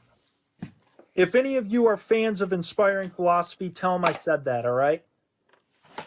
Because here's here's the thing: these scholars think that they know something, but they're oh god, I, I I don't even know where to start with them. But basically, here's the thing: Are you a Christian? Let me ask you that. Well, I feel like I'm a Christian, but from the way Christians treat me, I feel like I don't like Christians. I agree. Because guess what? They're condemning. They believe in the eternal place of conscious torment. Therefore, they feel like there is the right way and they have it right. Well, guess what? First Timothy chapter 4, verse 10 says that Jesus Christ is the Savior of all men, especially those who believe. I try to give Christians a lot of slack, right? Like if you believe something different than me, I try not to let it bother me. I try to just like, like oh, that's interesting, and that way I still have a friendship. Well, man, here's the thing, man. I'm trying to talk to people about the second coming of Christ, the Revelation prophecy. I'm trying to talk to people about this because we need to bring this to the forefront. Yeah, like I like to talk about Jesus too, and I want people to uh I want people to see a side of God that's not portrayed very often. You know, it's like I like things that are mystical. And if and if Jesus, if you can follow Jesus and still be mystical, then I would be interested in it. But I don't really fit into your Sunday church. I, I've been going to Sunday churches for a long time, different ones, and I find them very bland. I used I've been to excited churches like black churches where they stomp their feet and clap their hands. I love the emotions of those kind of experiences. Mm-hmm. They have that rhythm and they have that fervor, and I, I used to really like that. And then I've I've also been in a uh, you might call it a cult. It was called uh, Yahshua's people, and they live together in a commune. They're like called Twelve Tribes. Okay. a lot of people have a lot of people have heard of them. They believe that they are the prophecy of like in Revelation when it talks about the new twelve tribes. Well, here, Todd, the thing, do you believe Jesus is coming or not? Well, I sure hope so. I mean, it's been two thousand years, and I'm getting tired of waiting. Okay. All right. I got you, man. I really think that God should do it. You know, like God. I'm tired of God setting up all this religion where we're talking about Jesus coming back, and it just it's it's getting to be like uh, someone who's late for their own birthday party. Yeah. Yeah. Hey, uh, Derek, I, I invited you, man. Yeah, ble- Todd, bless you, man. Um, the thing is, just realize that the kingdom of God is within you. All right. Oh, can I tell you another her- uh, heresy I've been thinking about? What's that? Hey, everybody. Uh, Hey, and, and, and what's on, brother? Yeah. What? what's I'll up? wrap this up. Hey, I- I'm I'm happy, I'll- I'm happy to see everybody here. Hi. A bunch of a bunch of seeking a bunch of seeking hearts, man. Let me tell you something. A Yeah. bunch of seeking hearts. I don't care what you think, whether you hate this gentleman, whether you hate me, or whether you hate anybody else and what we're saying. All of you have a seeking heart, and that is the love of God. Amen, brother. Right on. Amen. Amen, brother. Bless you, man. Hope all You're all well. seeking, man. I love that. If you're seeking, I don't care who you're seeking. And look, here, here- and here's and here's really what it comes down to, brother. We Mm-hmm. don't get to judge anybody's journey, okay? As long as what your stated journey is the same destination as mine, we're both on the same journey. We're destined to be at the same location because that's what's in our GPS. Amen, brother. Doesn't matter how we arrive there. You don't get to judge the next man's journey. So just keep that in mind, folks. Let them. Let them. I'm a little bit more they're desperate, stated- though, As eh? long as, as long as they're stated, as long as they're trying to arrive at the same place you are, stop judging them. I just want people to stay alive and just survive. Like every 24 hours, look in the mirror and say, I will survive for another 24 hours and live one day at a time and just make okay, it. and- and let, and let me let me just question you that for that for one second. Staying alive is staying alive the goal? Yeah, surviving. No, no, We're but, in a very but- but what- dangerous No, world. but, no, but stop. Dangerous world. Is staying alive in this flesh your goal? Oh, yeah. Really? Well, then you deny everything Jesus said. You deny Jesus in every single turn, every single thing he ever said. If you're, if you, sir, are professing Sometimes I do. you're so, then if you're profe- then you know not anything about Christ, nothing, not a single thing, and that's why he could say, "I didn't know you. I've never known you."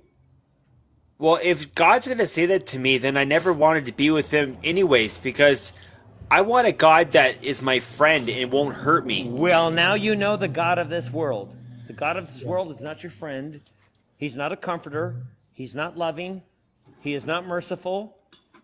He's not. The God of this world, like Jesus Yeah. told you. The Zen Midi. God of this world. But, sir- if you're if you and you just told me that you were honoring You're and loving the God of this world. I'm not orthodox. Shit, are you kidding me? Yeah, he's not crap. orthodox, I don't follow any religion. You don't even know who I am. So first, before you talk to me like you think you know what I'm talking about, I would I would do a little bit of research on who I am. Just before you, Well, I before feel- you, just before you speak up, I'm talking to you. Talk to address the words that I'm saying to you directly right now, not what you think. Right now, what I said to you, you are honoring your life in this world, and you're trying to survive in this world, and everything that Jesus said was different than that. So who are you? Do you follow Jesus? Well, currently I have a roof over my head. I have a job. So Are those G, are, are those of Christ? The roof over your head and and your job is that Christ? Is that what he, Straight is up that it what he is. to- is that what he told you to have? Hey, go get a job and work for the man and put a roof over your head, and that's going to be salvation. I'm Yeah. uh, seriously. I mean, listen to yourself. Stop I it. love having a job. Oh, awesome. Then good. Then then you know what? You should put, hit delete. Delete your TikTok app. TikTok. app. Stop having a conversation with real people that are actually seeking Christ. yeah, here. Well, the- the- While, while we're talking about what what is Christ, and I, I- I'm just going to jump in here and say thank you for the, the debate earlier. You guys were both phenomenal, and I loved the way you presented it. Um, Absolutely. yeah, it was it was peaceful. It was great. And It's always going to we're be talking peaceful. about like what it's is always be Christ, peaceful, man. and we're thinking we're thinking like, okay, we, we debated on scripture, but how much of that scripture was placed there by the people that wanted to deceive you? That is the question all of I have all right of it. now, and All- and, all of and, it. and how can we debate only using scripture when that is what was put there to to, to make you believe in a certain way and a, and a certain God who is not your God is not the he's a bloodthirsty God. So Jared, it, I love it I love seems like statement. a like a right uh, like a you got a left and a right wing uh, party to vote for and uh, both lead to the same slaughter pit and that's what yeah. uh, it seems like when it comes to what's happened with Christianity. But I, I but somehow in my heart, I, I feel the Holy Spirit, and I feel Christ. So Yeah. how do I differentiate between what is uh, Christ and what is the deception? What is the Christ and what is of this world? For Josh. What a brilliant, Yeah. what a brilliant question. Thanks. And and is that do am I pronouncing that right, Jared? Am I Yeah. pronouncing your name? Okay, it's Jared. I just want to make sure I'm pronouncing your name right. Jared, brilliant question, brilliant statement. And the thing is, is see, I don't even need to answer the question for you. You're proposing the question for everybody else because you already know the answer. Right. But I'm going to say it, and that is the reality is that Christ is within us. Okay, so there is no external reaching of anything for Christ. Zero. We don't need a organization. There is no government. You are, if you are in Christ, you are an anarchist in every way, sense, and form. But the difference is, is that they've told you that anarchy means something different when it says that the government rests on Christ's shoulders, it means because the government, all of it, all of your decisions and all of your governance relies on you. You and Christ and you. Once you stand in Christ, the government rests on your shoulder. And guess what? At that point, you get to determine who is good for you and who is not good for you, who is good in your life and who is not good in your life. And you begin to separate and create your nation and your allies like any other nation would. Yeah. You begin to determine what nations are good for me to be communicating with. Absolutely. Ones that understand me and that I understand them. That's where a nation is of a people. It's not a country. A country is bullshit lines. It's all a lie. Yeah. Yeah. It's a lie in- intended to usurp people and Well, to it's an their wealth off ideology, though. It's all It's an ideology. it's an ideology that works. No, absolutely. So here's the thing Christ is literally inside of you. He told you where the kingdom resides. There is no disputing this. Christ said the kingdom is within you. If God resides in the kingdom and he resides at the right hand of the king, right? And you reside at the left hand of the king in the other seat, well, then guess what? The left and the right combine and they become centered, and they are centered in one in the Father, the Creator, merciful. I desire mercy, not sacrifice. This is not a hard equation, and somehow people are having a hard time finding this, and it uh, fucking amazes me. You know, that's that that's the thing, Derek, too. when Jesus said that the kingdom of God is within you, he didn't just make that up. He got that from the Egyptian proverbs. It's real. It's actually there. so here's the whole yeah. point, and here's and this is why I say fuck. Okay, Josh. I know I this already know why you. I know you got lot. I know you got lots of. You know, you know, you and I've had lots of conversations. Okay. Yep. The very first thing I'm going to do is say fuck, so people don't think I'm Jesus or think I think I'm Jesus. Right, right. Right. I'm going to shatter your idea of what you think Christ is. Yep. End of story. But here's the reality you are Christ, I am, and this man is definitely Christ. So understand what you're dealing with here. You do not want to be on the opposite side of all of us when all of this comes to pass. I promise you. because the illusions that they have created before your eyes are so grand and so great. And believe me, that shit's about to be erased. Yep. And when it is, you're going to start to realize that the people that said fuck are the people of Christ. They were eh, they were the ones that weren't religious. These were the ones. Oh, I'm not religious because guess what? The word fuck means nothing. Okay? Yeah. So any religion that wants to take a word like that and somehow make it, oh my God, you're blasphemy. You're not religious. You don't know Jesus because you said fuck. I can promise you right now, if Jesus were right here, right this minute, he would say fuck at least a thousand times a day. Amen, man. Well, Trust me. I, but I, I can promise you he would. Yeah. Because yeah, look guys, at the world we live in, bro. Look at the, Eh, eh. and it's because it's also an expression of an understanding that we all, I mean, all Joshua, all of us are living this stuff right now. Okay, we are living in a world of such delusion. It's insane. Absolutely. It's insanity, brother. And if you are going to deviate and you're not going to listen to somebody because they said the word fuck, that's the perfect example of how easy it was for you to be de- deviated from truth talkers. Absolutely. That that's the thing because that's a measure of your heart. Yeah, If and I and I want people to know if you can get past me saying fuck, then you can hear some truth. And I don't want weaklings here. I don't want weaklings with me, brother. I don't want people here talking to me, following me, sending me, sending me messages. I have hundreds of thousands of people following my stuff, and I don't want weaklings sending me messages. So if you can't accept me saying fuck, well then guess what? Don't write me. Yeah. Yeah. Well, brother, um, guys, thing is, you know, I end of the destroyed day- your Christian channel. I'm sorry, Joshua. You're good, Derek. No, no worries, man. No, it's uh, No, I love you. gonna- And and let me just say this. Let me just say this about you, Joshua. Everybody, I've I've been talking to Joshua now for about two years, for two and a half years, maybe, right, Joshua? yep, yep, about two and a half years. Yep. Yeah, we've had multiple, and and I've I've watched him go from different places and different pieces of all of this. And here's the one thing I can confirm to you: this is a man that is truly, truly, truly, truly, truly seeking truth. Okay, he has come to me. He's beat me up and he said, I'm fucking wrong. I'm right. I'm wrong. I'm right. I don't care.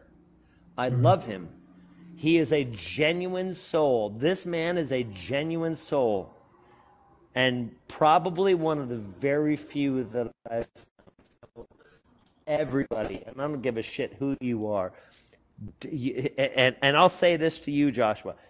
You'll say things I don't necessarily understand either, but I understand what you're trying to do. I understand what you're Yeah. trying to uncover. I understand what you're trying to see. And guess what? How many people are doing that? None. So you are ordained for that. So you keep going, brother, and don't listen to a thing that any of these people say. I don't care how much they hate you. Uh, you, you were promised that they would hate you, right? Yeah. That was a promise, wasn't it? yep. Yep. It was a promise. If you start saying the things that I say, Jesus said, if you start talking like me, they will hate you. They will kill you and think they're doing the work of who? Of God. Absolutely. My question is, which God? Yep. Amen. So I love you and everybody listening to Joshua. Joshua is a good, good, good, good man. He is a good man. This is a man with a real heart. He's not trying to deceive anybody. He's trying to find truth, and I love him for that. Whether he's right or wrong and indifferent, I don't care. He is seeking truth. I love him for that. And I love you, Joshua. I just want to let you know that. Love you, Derek. Bless you, man. We may disagree on some stuff, but at the end of the day, We can always disagree, but I love you no matter what. absolutely, I don't care. Disagreement, do you know what disagreement is? It's called refinement. Absolutely, iron sharpens iron. You disagree with me, I disagree with you. Guess what? We're ultimately going to end up at the truth. Because we want to bring heaven to earth. We want to. Done. We both have the same end goal with people to tell them, don't believe in this delusion. Let's Like I said, it doesn't matter where we're trying. As long as we are both trying to reach the same summit, we're both climbing the same mountain, right? Joshua, you're climbing Mount Everest. You're climbing from the east face. I'm climbing from the west face. You're climbing the nine? Right, it is. Right, right. It has entirely different faces. It has entirely different challenges. But we're both trying to reach the same summit. People, stop, stop, stop, stop judging people. Stop Yeah. it. yeah. Start listening. We're all on different paths. Stop judging these people. Joshua's a good man. A good man. I mean, a great man. You could, let me tell you something. If we had 150,000 of Joshuas in this world, we wouldn't have a problem. Not a single one. Yeah. That that's where I'm at now appreciate as that, well with, brother. with with regards to like n- not wanting to judge people, but I feel like my my empathy is kind of uh, become a weakness in terms of saying everyone should have their belief, and I'm wondering if it's it's starting to come into my family and starting to become part of something that's influencing what I have to like draw a line in the sand and say, listen, like I don't have a YouTube channel. I'm not speaking out. This is the first time I've been on a live on TikTok before, but I've been watching Josh for like two years and a whole bunch of other people too. But there's some point where it's like I know in my heart what's right, and then how, you you don't want to judge people, but then you also want to say, guys, you, you have to you have to get this. So where how, yeah, you have to fight, and then you also have to decide what's Yeah, but right don't don't don't you don't judge the man. you're also you're also wrong. I mean, like Yeah, you're yeah, also you wrong don't at have the to judge where you are now. Because in five years' time, you're going to believe something different than you believe now. You Absolutely. know what I mean? And Yeah, I've well, seen that in my own life. Yeah, potentially, but you don't have to judge the man. You're right that we might judge something differently. We might see things differently. That's why we don't want to be dogmatic about something that we believe we know right now. Absolutely. That's where religion is right now. So religion gives you the thing. In Christianity, you go into church, you accept Jesus Christ in your heart, and, and they tell you exactly what that means. Right, Right. right. You, you don't have an option to deviate from what they tell you the process is. Mm-hmm. Yeah. But what what we're doing right now and what you're saying, and I really want to, I, I, I appreciate you, um, Jared, in, in saying that is that you followed him. You're understanding that you're you're questioning these things, and that's a genius thing to do. You should question it. Jesus Yeah. told you to. Yeah, question that. But the reality is, is that the man Joshua, the man Derek, all of us, we're just speaking these things as we say them. You don't accept them as truth until they become true inside of you. This is where people have sacrificed. They're victims to somebody else. No, you're not a victim. You've made the choices of belief that you've made. Yep. Sure You have. made them. You made them. You decided, and you get to decide whether you're not going to believe in them anymore. You decide the world in which you want to live in. All of it.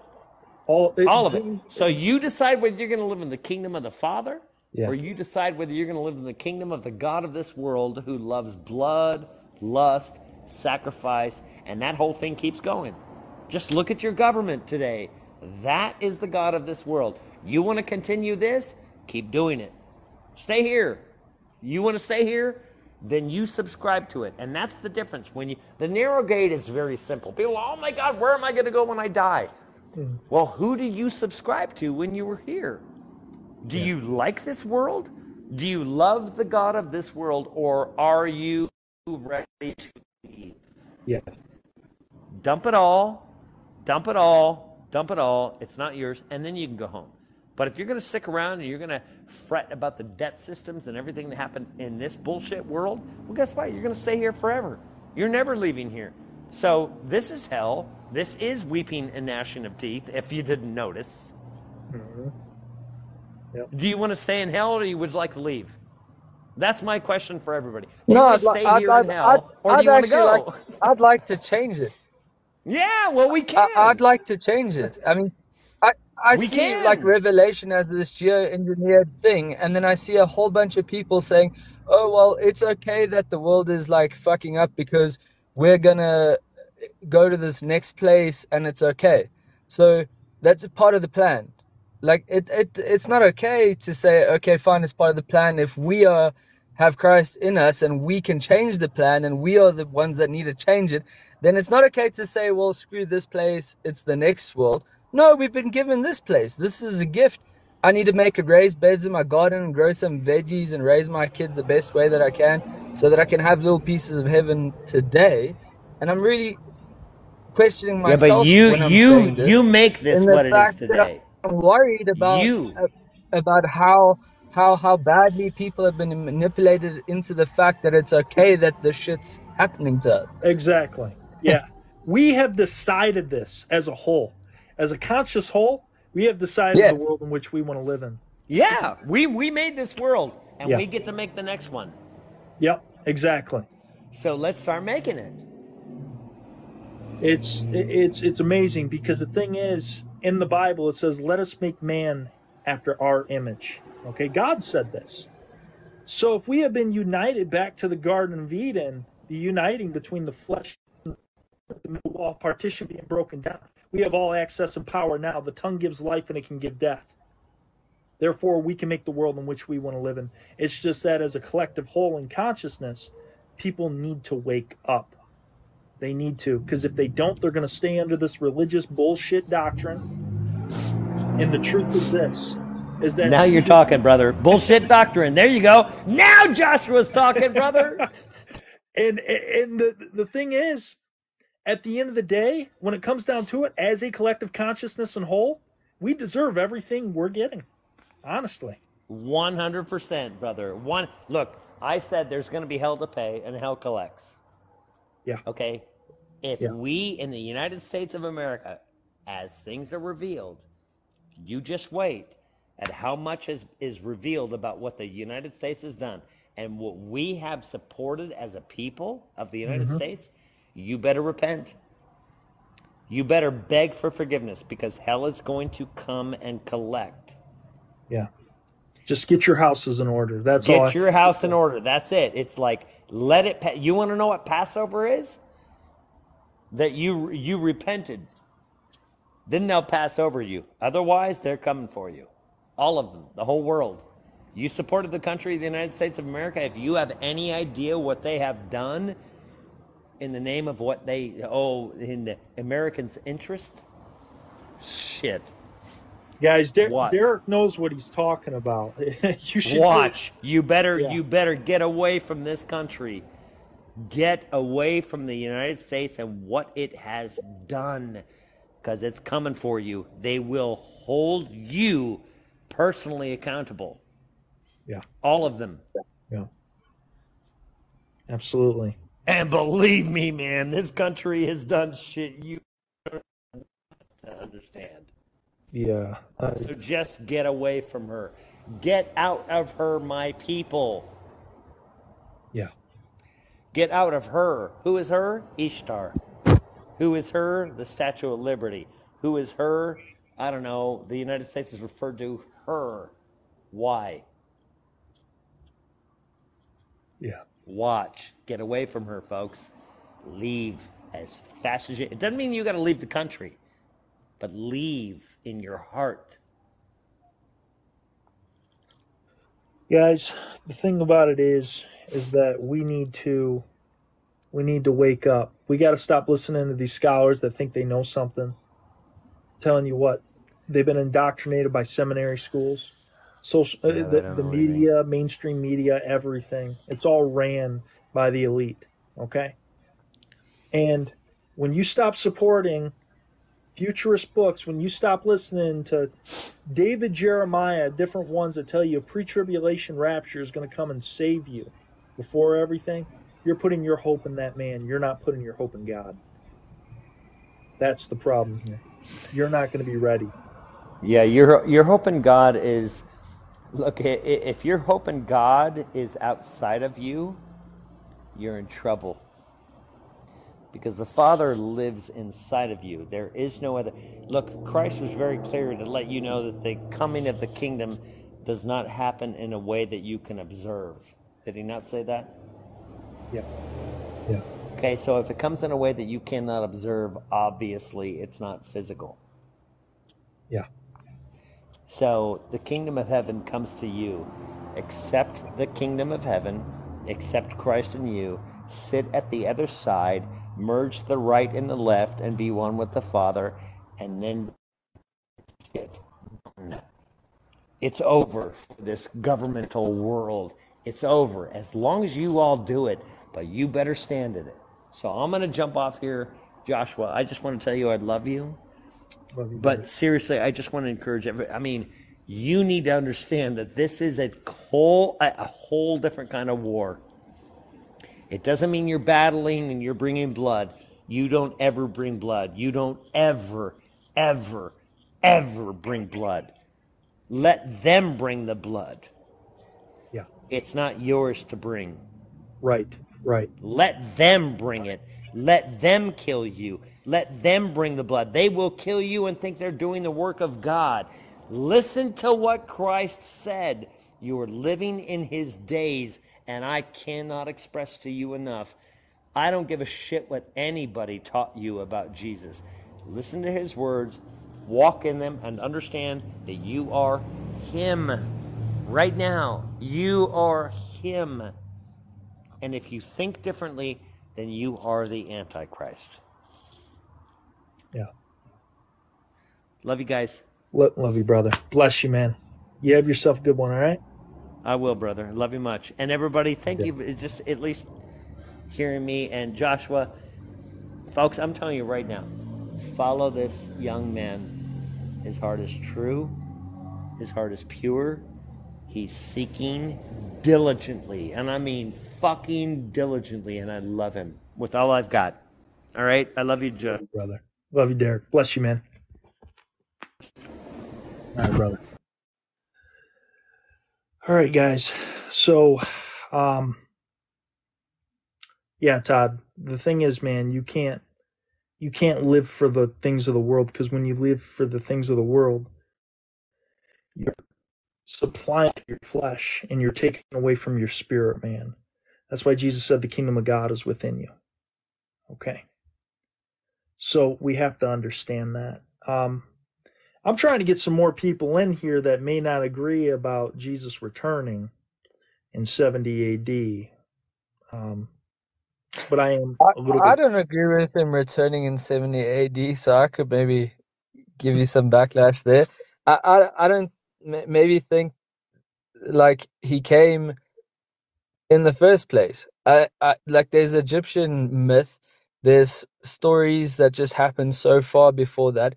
And when it comes to the, the story of Christ, I'm, I'm a, a believer in truth. I mean, I know that in my heart. Right. But there's so much to the story that I don't even know if it was the same person. I think maybe that some person came around, like, you know how the world looks at people like Mahatma Gandhi or whatever, and they say, like, wow, those people were close to God. Mhm. Um, and then there were these prophets. Like, there was this dude that did that. He, he attained this certain level, and then they used his story to create a story that would enslave people into worshiping that bloodthirsty God. Right. Right. Like, right. so I, I agree with you in terms of him not returning and that it's our responsibility. And then I also degree, disagree in the fact that he was even there in the first place. Okay, all right. I, I, I see what you're saying here. Well, the thing is, is that when it comes down to it, um, yeah, like Chris said, reconstructing Christian, there were archetypes of Christ, but they were not like Christ. They had, like Buddha, Buddha is talked about in the Bible, whether you guys realize it or not. In Ezekiel chapter 1, verse 3, Yeah. it talks, and Buddha was actually an Israelite. Uh, Glenn Kimball makes a really good case for that if you guys ever want to check that out. But um, e- even the fact that when we look at it as a whole, when we go back to Egypt, a lot of the Egyptian stuff, Christianity originated from Egyptian culture. I mean, we have the the Tempest Stela, we have uh, the volcanic eruption of Thera that happened during the Exodus. We got a lot of this stuff going on, and um, history does repeat itself in a sense. But the truth at the end of the day is that according to the Gospels, when Jesus came, when he did what he said he was going to do, according to those writings, that would have been when he would have returned, because he would return to that generation. But here's the thing if he did return, that means we have all power and access now in heaven and on earth. Okay. But through the elites' plan to do all this geoengineer it, they're actually waking the masses up more and more. Look at what the pandemic did, for instance. That woke a lot of people up. So they're screwing themselves over at the end of the day when you really think about it. So, Yeah, I hear you. It's it they are, and at the same time, I think I think in our circles, I I see my circles and the people that I follow and stuff, and I think that everyone knows the stuff that we know, but there's still masses. I mean, 99% of the people aren't even close to what we're talking about. I mean, when people go towards Christianity to say, I want to fight the enemy, and I came to Christianity through realizing that there was an enemy because I mean, I came from a secular home, new agey sort of stuff. Mom did Reiki, and then realized, like, wait, there is an enemy to fight. There is bad stuff going on in the world. And I was like, okay, well, where's the good team? And I found Christianity and I was like, okay, well, that must be the good team. And then I was like, okay, wait, that good team got set up just kind of like the same way the the right and left got set up in America, where you vote either side and it ends up going to the same place mhm. um, because it's the same God. They they wanted you to worship the same the same God, and then it's like, okay, well, if that wasn't true, how much of the rest of the story is true? So where do you where do you draw the line? Where do you find out what is what is the truth? I suppose we're all on that journey, and yeah, I'm super stoked to be on that journey with everyone together. But yeah, trying to figure Oh, it out. it's it's been pretty pretty crazy. Um, you you know I have series on YouTube. I I know you know about that. Um, Yeah, I watched it.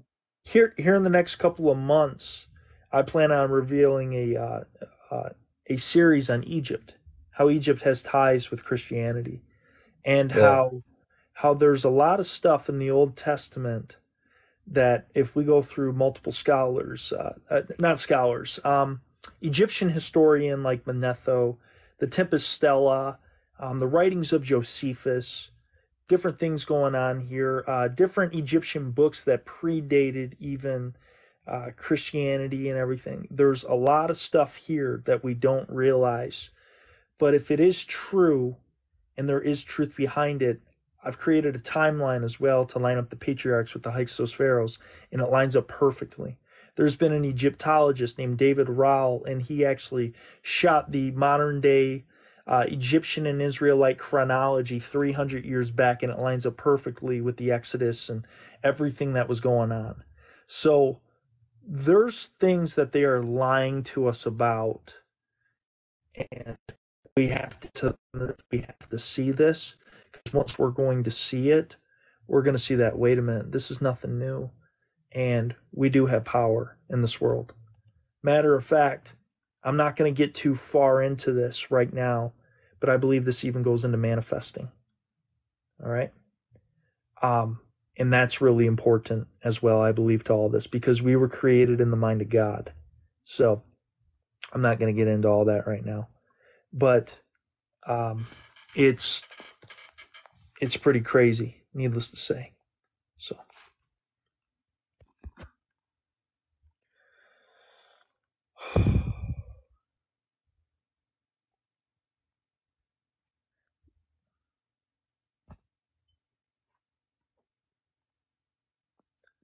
so yeah, you guys. Um, anyways, that uh, that debate I did earlier with that guy, that talk, that drained me honestly. Is there anyone else in here that doesn't quite un- understand it about I don't know 70 AD or whatever the case may be?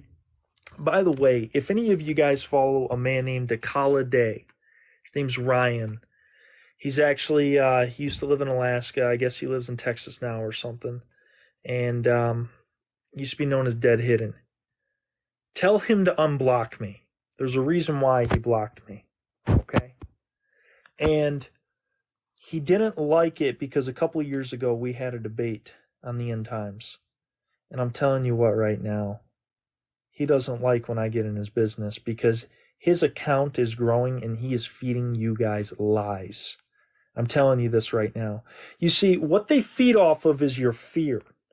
And this is how people get views through fear. Okay? They get views through your fear.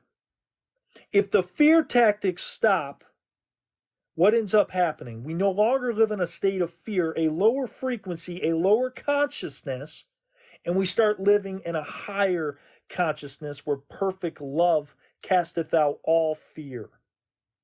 Okay? No, here's here, here's the thing about JK. You said I don't think he feels that he's feeding us lies.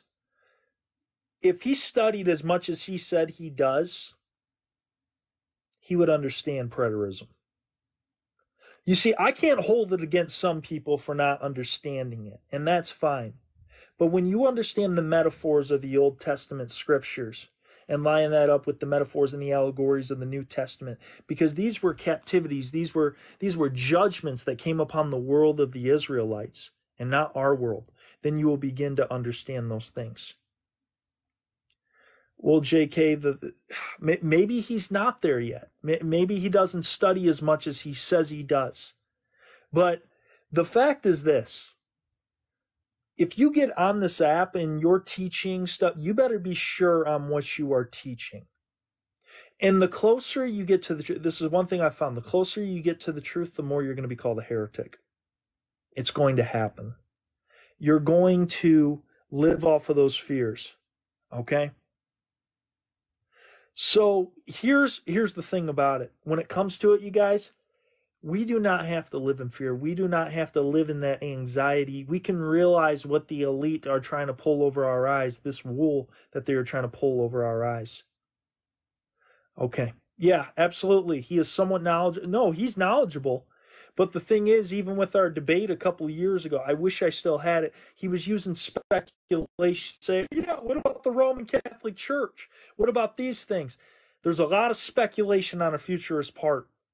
But when a preterist, someone that says these are past events, they use the Bible to justify everything that they say. This is the problem here. And sometimes it's because people aren't well learned enough to be teaching these things at the end of the day. But I will tell you guys this much right now. I will never lie to you, and I will always tell you to go back to the scriptures to look at it yourself. Because when Jesus says these things, you cannot separate Matthew chapter 23 when he's talking about Jerusalem from Matthew chapter 24. You cannot separate these things because when it comes into a perfect alignment, it all aligns perfectly. And there's no ifs, ands, or buts about it.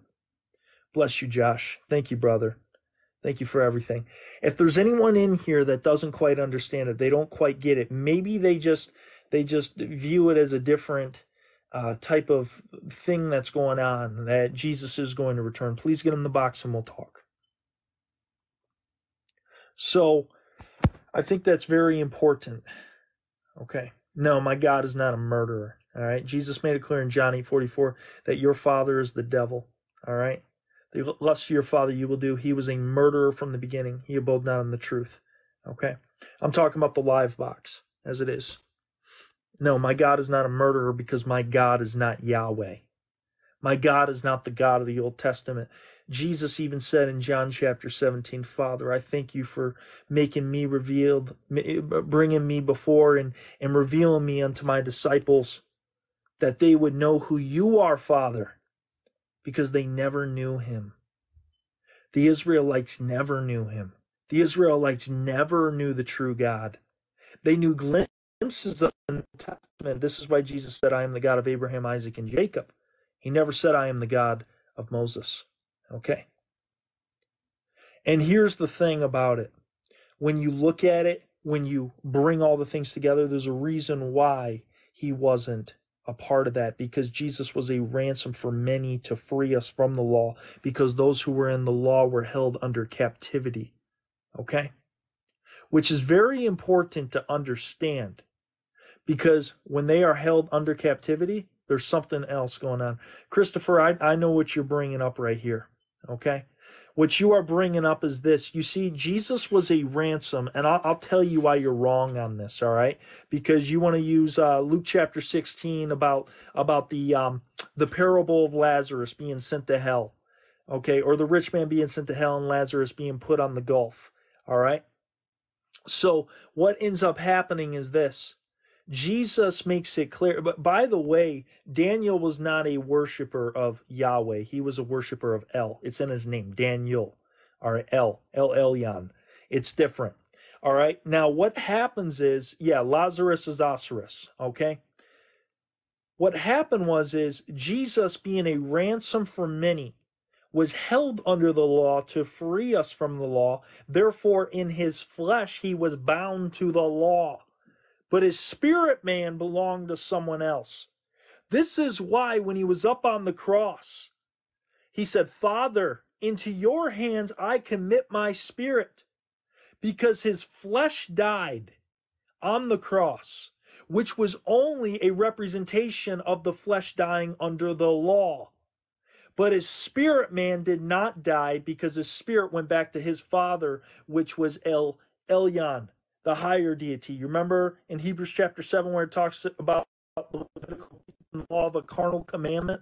Carnality comes from the beast, carnality comes from the flesh.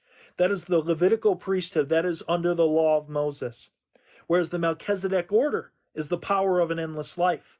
The endless life comes from the spirit man. That's why the spirit went back to the Father when he was on the cross. Okay? No, he said, Father, into your hands I commit my spirit. All right? He said, Today I will be with you in paradise to the thief on the cross. Okay? Exactly. Yahweh God is flesh, not a spirit, and the same can be all for us. Yes, that's why it said he came in the image of sinful flesh, an Israelite, a Jew, because in the flesh he was bound to the law. But in his spirit man, he was going to rise and ascend above the law. Matter of fact, he defeated Yahweh at his own law. He defeated him at his own game. You see, to Yahweh, when someone falls the law, when you're guilty in one part, you're guilty of all. All right? Jesus wasn't guilty of any of it. He fulfilled it perfectly. And he, when he was the ransom, he freed us from the law. What's a ransom? What's a ransom, you guys? A ransom is a thievery note. It's being kidnapped against your will. It's a thief taking something. And Jesus was the ransom so that he would free us from the thief. The thief cometh not before to steal, kill, and to destroy. But I have come that they might have life and life more abundantly. Who stealed, killed, and destroyed? Who plundered in the Exodus? Who took the silver and gold from the Egyptians, killing them, slaying them? Who destroyed the Amalekites, every man, woman, and child? Who destroys? Who kills? And who gives life? It's two separate stories, you guys. It's two separate things going on here. Exactly. That's not right. You tell me why it's not right, all right? I just gave you John 10:10. 10, 10. Go read it again and go look at it. You shall know a tree by its fruit. All right?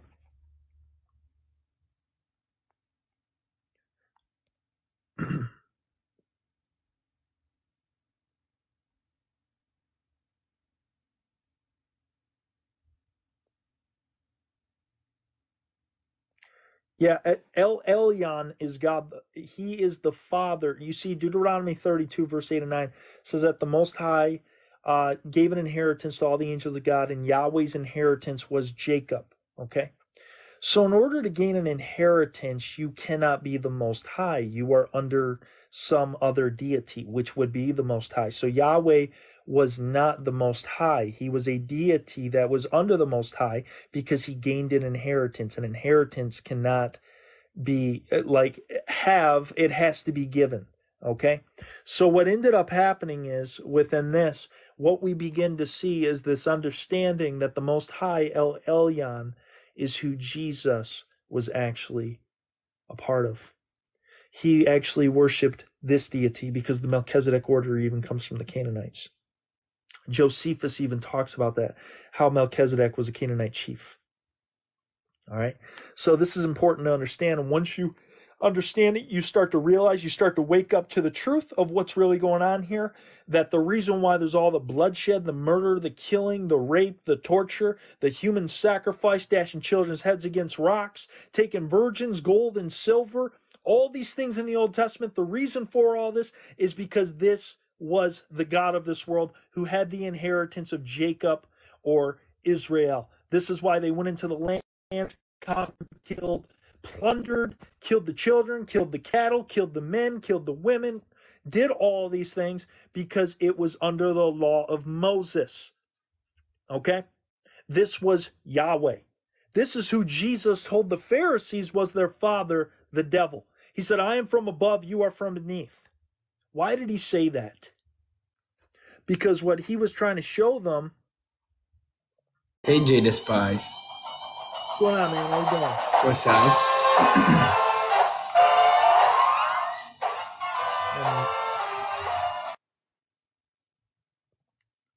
That's interesting. All right. Um yeah, guys, there's there's a lot of stuff going on, needless to say, um, with all this. All right. Yes, horned Moses. It's uh it's very important. What's going on, man? How you doing? I think it was playing some Frank Sinatra or something. Um, when you start to look at this, when you start to bring it all together, you start to see the separation between the deities. Okay? You start to see the difference.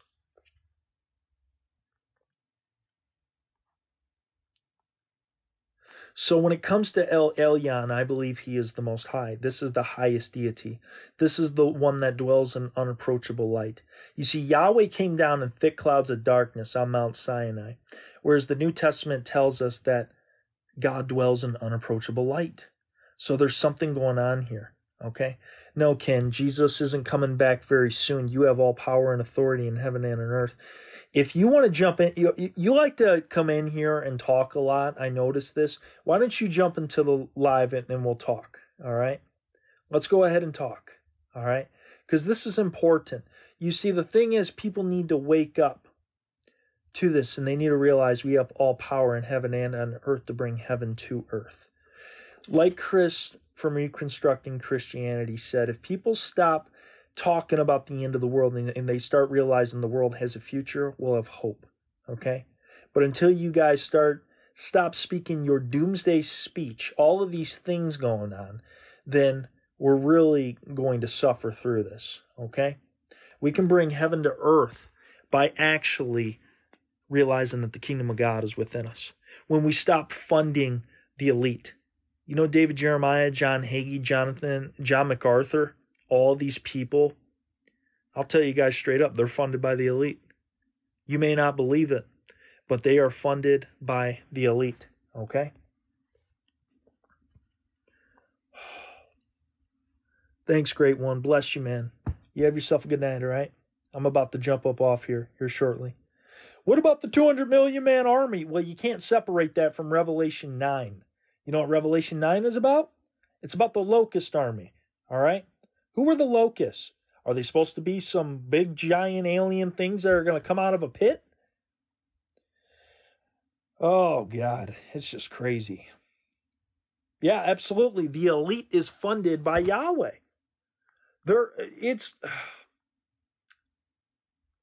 It's just crazy. It really is.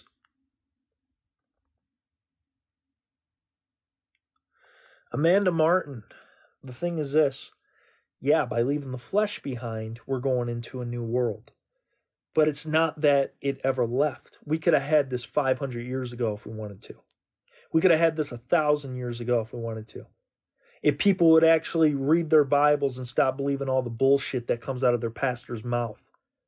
Instead of them just warming up the church pews on Sunday and going to read the Bible for themselves. And I'm not talking about scanning the Bible. I'm talking about reading from Genesis to Revelation.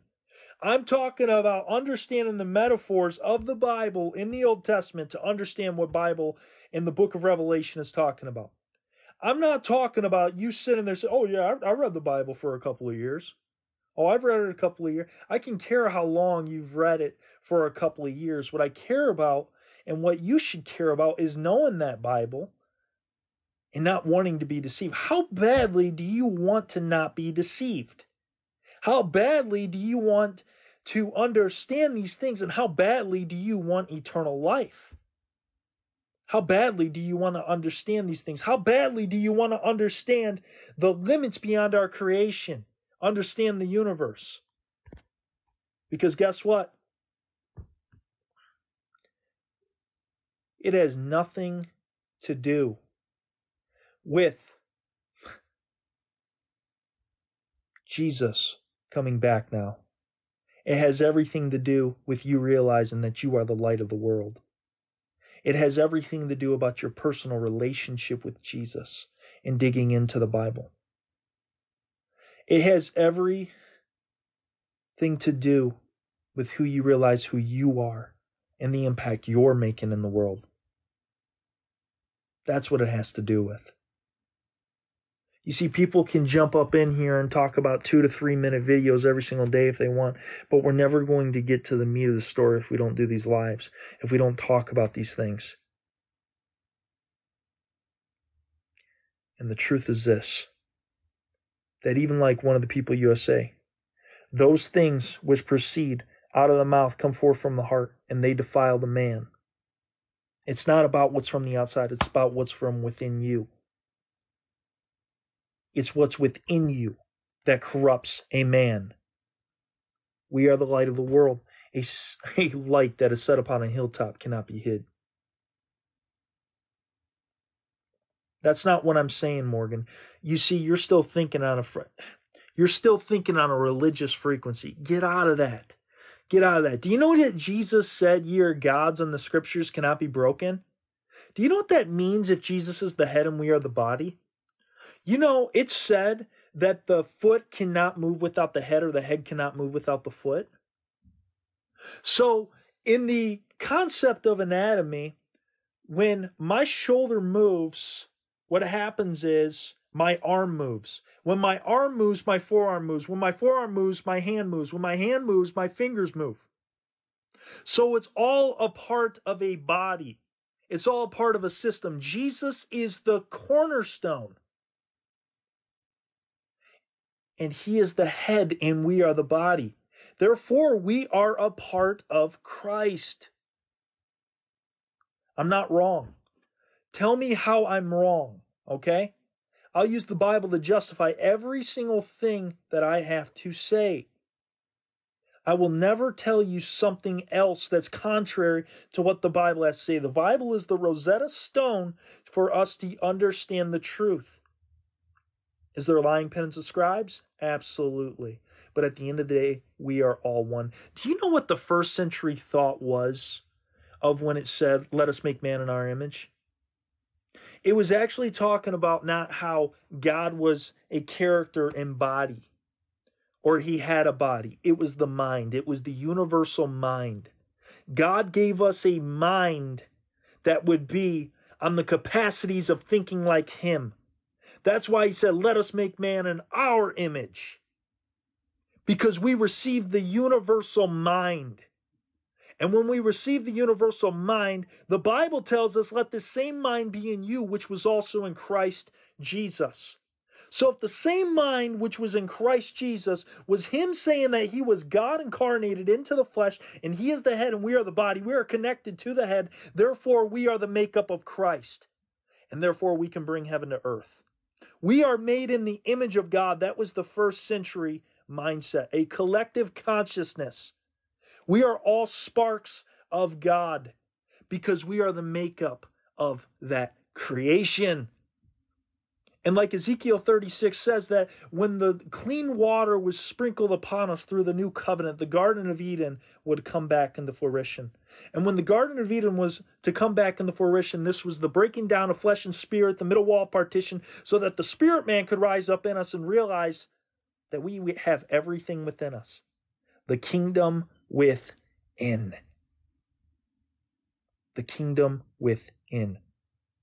So I guess it's heretical to believe that let this mind be in you, which was also in Christ Jesus. Philippians 2 5. Understand this. Here's the thing. No, it was our flesh do you know what the story of the Garden of Eden is actually about? It's an esoteric revelation about us taken forth from the tree of the knowledge of good and evil to partake in knowledge through good and bad experiences that would bring us unto Christ.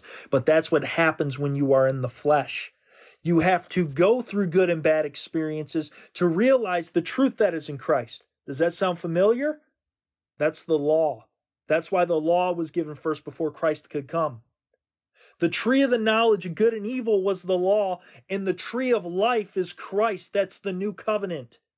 It's the partaking of us in this human experience to realize that we must go through much tribulation in order to inherit the kingdom of God.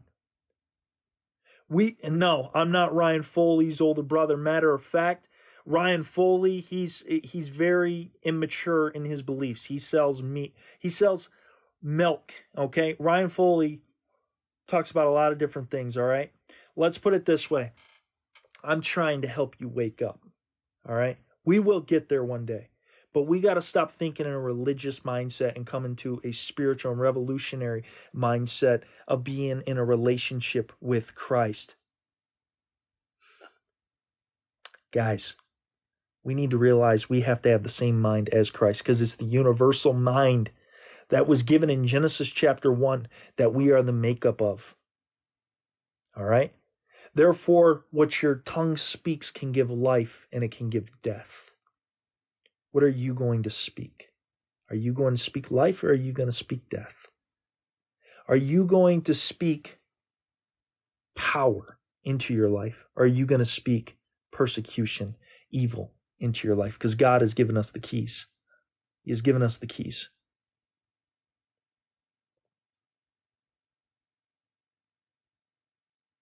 Absolutely. The kingdoms of this world, the kingdom within, that's not taught in churches. It's always been taught that it's somewhere else. Okay? That's very important because it is taught somewhere else. It's taught in Egypt. The Egyptian Proverbs talks about it before Jesus even spoke it. Yeah. Go ask Inspiring Philosophy or Dan McClellan that one. Go see if they're honest about that one. All right? There's scholars here on TikTok that think they know something. But I guarantee if they got in alive with me, eh, uh, let's put it this way. At the end of the day, they they come from seminary. It's not their fault. It's not their fault that they come from seminary. It's not their fault that they're taught from an orthodox faith or whatever you want to call it. It's not their fault that they can't use their own mind to think outside the limits of the capabilities of what scholars and traditions of men tell them. It's not their fault that the Bible says, well, this is their fault, that the Bible tells you that the Holy Spirit will be your teacher. That is their fault. All right? The pyramid what do I mean what, what I think the pyramid is? The pyramid of Giza. The pyramid, okay, th- this could get into Egyptian territory. This could be talking about the Phoenicians, which was actually a representation of the phoenix, which the phoenix was actually at the Temple of Heliopolis. The Temple of Heliopolis is talked about in the Bible, whether you realize it or not. Yeah, it sure is. Go to Genesis chapter 41, verse 45, when Joseph marries into the family of a priest of the temple of Anu or On, which actually in the Septuagint registers to the temple of Heliopolis. This is important because when you start to look at it and you bring it all together, you start to realize this is about esoteric mysteries of the kingdom of God within you. All right?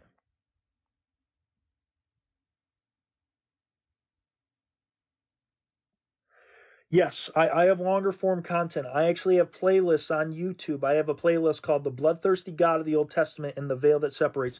Orthodoxology, I see you're in here. Go, go ahead and come in, in, man. Come on in. I just invited you.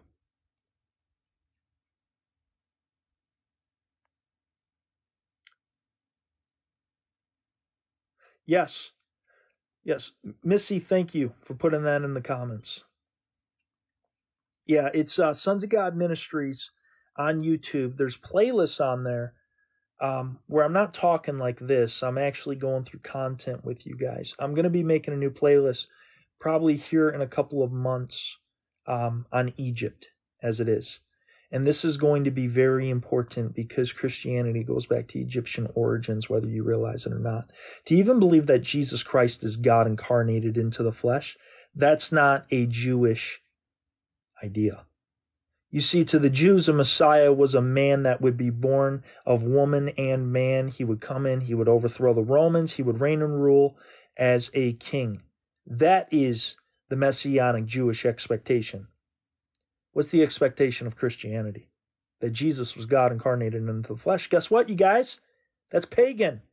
That's a pagan idea. So if you believe that Jesus Christ is God incarnated into the flesh, you are a pagan. You don't realize it. Because paganism, by Christianity, the kingdom of God being within you, goes all the way back to Egypt and even the Sumerian tablets. And it all stems from here because it's always been about the creation being within you. Okay? It's very important.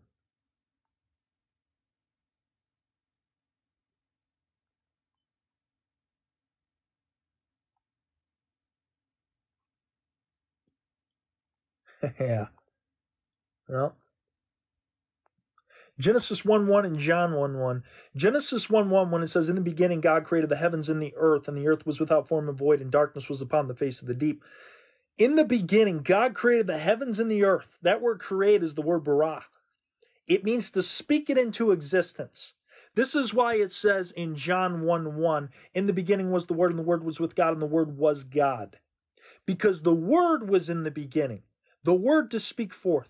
Why do you think it says in the book of James that the tongue can give life and it can give death? It's talking about being spoken into existence. Doesn't have to be created with hands because God doesn't have human hands. Actually, at that point, He didn't. He was a universal mind. This is why Jesus says to the Samaritan woman, God is a spirit, and they that worship Him worship Him in spirit and in truth. Because God was consciousness. And God, in the form of Jesus, was that consciousness, that pure light placed into a man. Because he was God incarnated into the flesh. He was the perfect one. All divine, all human. A pagan idea.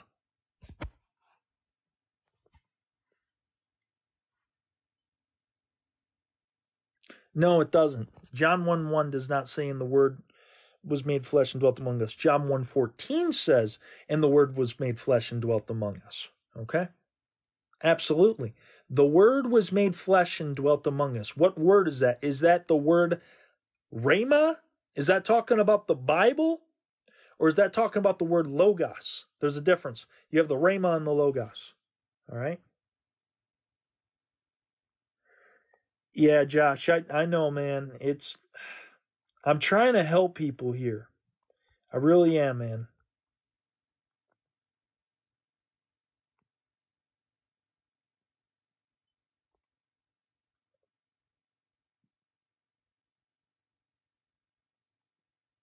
It scares them. Absolutely. It does. People do not want to jump in this box because they can run their mouth over my videos on comments but they will not come up here to talk. The reason why they know they can spew a bunch of garbage in comments. They won't come up here to talk because they know they don't believe what they actually do and they're too scared to get out of their box that they're in. Okay?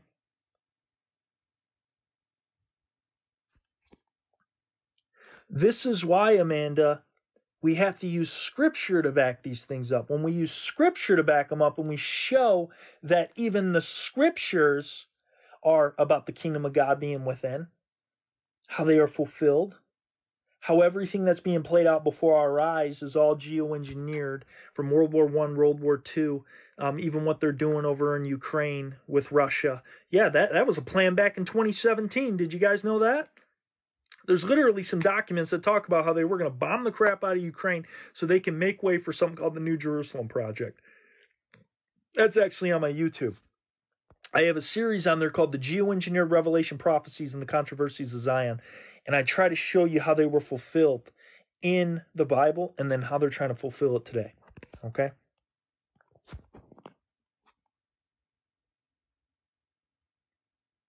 Yeah. Crazy, crazy. I'm scared, Draco Galaxy. you think I'm scared? Perfect love casteth without all fear, man. I'm not scared of anything. What what would I be scared of? What would I be scared of? Hebrews chapter 1, verse 8. What does Hebrews chapter 1, verse 8 say? But unto the Son he saith, Thy throne, O God, is forever and ever. A scepter of righteousness is the scepter of thy kingdom. Absolutely, you're right. What's the scepter? What's the righteousness? Was this a messianic psalm that was given way back in the book of Genesis under the blessings that Jacob gave to his sons?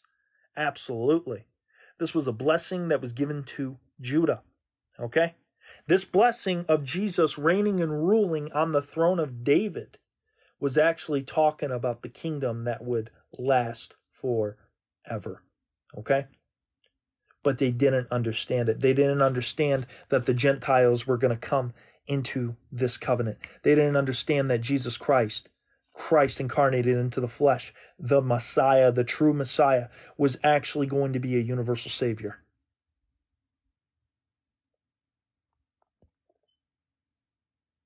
Draco Galaxy, get another 850 followers and we'll talk, all right? That's all I have to say.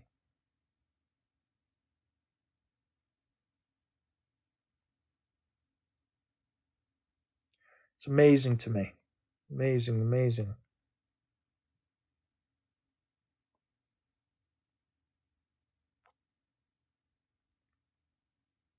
Jesus is God to me, absolutely. Yeah, son. Absolutely, Christopher. You are absolutely right. Why do you think they're called the 12 apostles and the Son of God? Did you know that before the revision happened in the Old Testament about the uh, the the chest plate of the of the um, the high priest with the 12 stones? That was not tw- talking about just the 12 sons of Israel. Actually, matter of fact, the Josephus, who was a first century historian, he says that was talking about the 12 zodiacs of the astrological wheel. He was talking about how the Urim and Thummim was a representation of the sun and the moon. It all has to do with astrotheology. You're absolutely right there, okay? But here's the thing just because it has to do with the sun, the moon, and the stars and all of creation doesn't make it a bad thing. After all, we are a part of this creation. It's just that Jesus Christ and his disciples, they were the oracles of God. They were manifested into reality. Okay? So here's the thing. At the end of the day, yeah, absolutely. It all comes from Greek mythology. It all comes from the Egyptians. It all comes from the Samaritans. But guess what? If you believe Jesus Christ is God incarnated into the flesh, you believe in all that because you are a pagan. It was all pointing to Jesus. You can't believe that Jesus is God and not be a pagan. That's the problem here. Okay?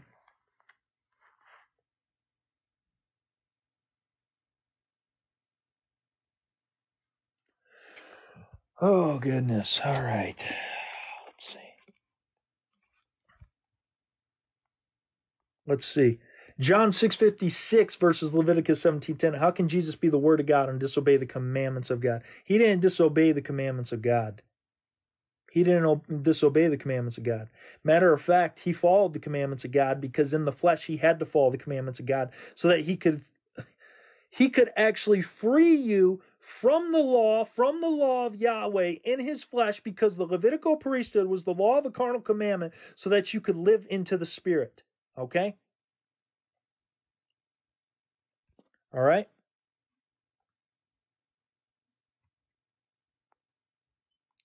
This is very important to understand.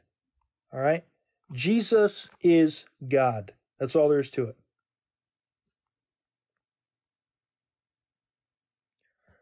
Christopher, Jesus even said in John 10:34 that ye are gods and the scriptures cannot be broken.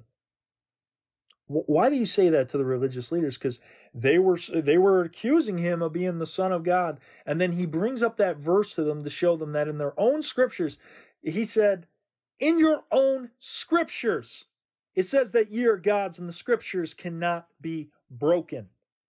He was showing them that their own scriptures actually contradicted what they were trying to say.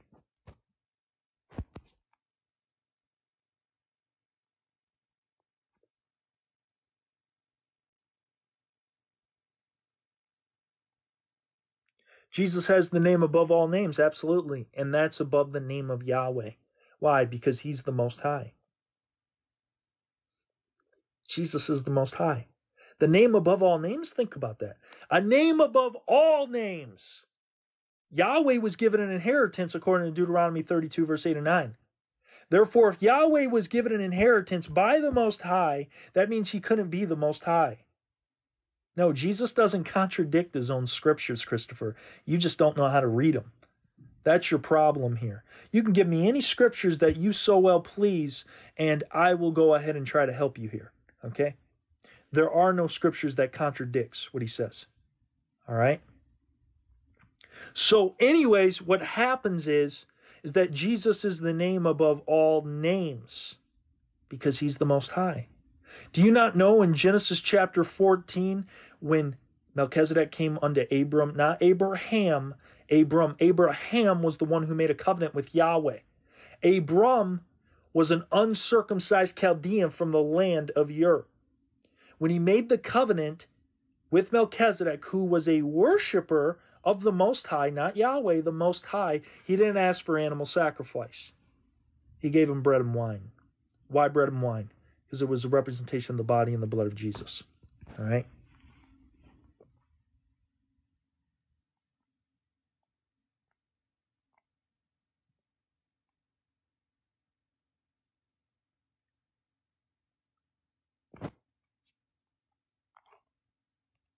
Yeah, exactly, Ashley. He was like, You want to be mad that I'm a God? Well, guess what? So are you. You just have to wake up to your capability. You see, th- this is the thing about it. This is why it says in the beginning, Let us make man in our own image. Okay? It wasn't according to the image of the body, the flesh. It was the universal mind. Let this same mind be in you, which was also in Christ Jesus. I truly believe that as we move through society and we rise ourselves in this consciousness to realize that the world's not going to end and it's going to keep on going, we're going to have a beautiful world. It's going to be amazing because the world that we're going to live in is going to be a representation of humanity. It's going, it's, but we reap what we sow. That's the problem here.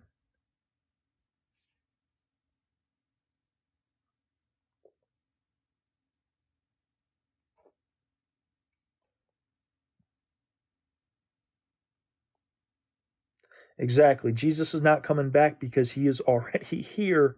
He has heard the cries. Ryan Foley is not my brother, no. I know who you're talking about. He's a very I used to be like Ryan Foley, if any of you know Ryan Foley. He's probably about a year or two into being saved, evangelizing, doing all that. I used to do that stuff. All right.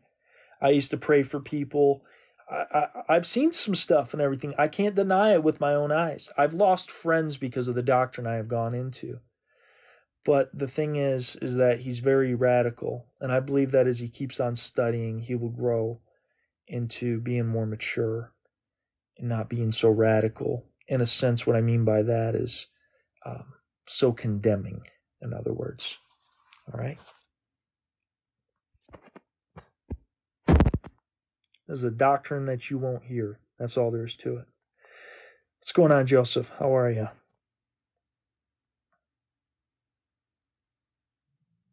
Absolutely, Matthew 22, 29, 30, and 31. When Jesus says, You do err for not knowing the scriptures. Why didn't they know the scriptures? How did they not know the scriptures? You see, Nicodemus, who was a teacher of all of Israel, didn't even know the scriptures, and he thought he knew the scriptures. Why do I say this? Because Jesus said, unless a man be born again, he cannot see the kingdom of God.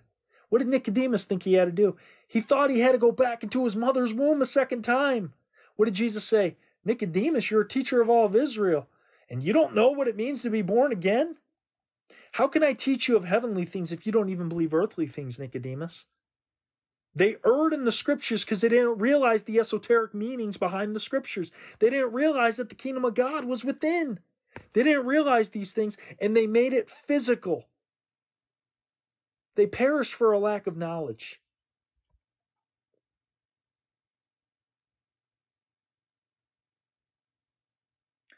Good night, Joshua. Bless you, man. Love you, brother. Reconstructing Christianity. Welcome to the new Reformation. Absolutely, brother. We got to bring the truth, man. We have to. We have to wake the people up. All right. First Enoch chapter 15 verse 7. I'd love to hear this, honestly. Um, but here, here's the thing. The scriptures just in general are talking about a deeper meaning behind the scriptures. Okay? Yes, looking with physical eyes only equals death. All right?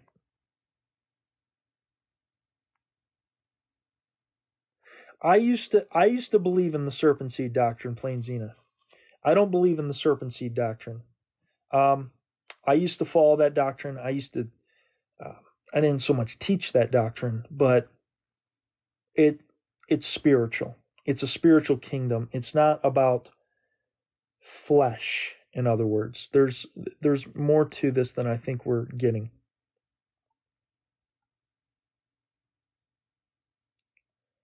Great live. Thanks for keeping keeping thinking. Absolutely, brother. Bless you, Adirondack. Adirondack life.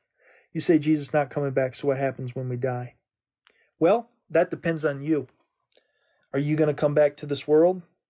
Are you going to be reincarnated? Yeah, reincarnation is real.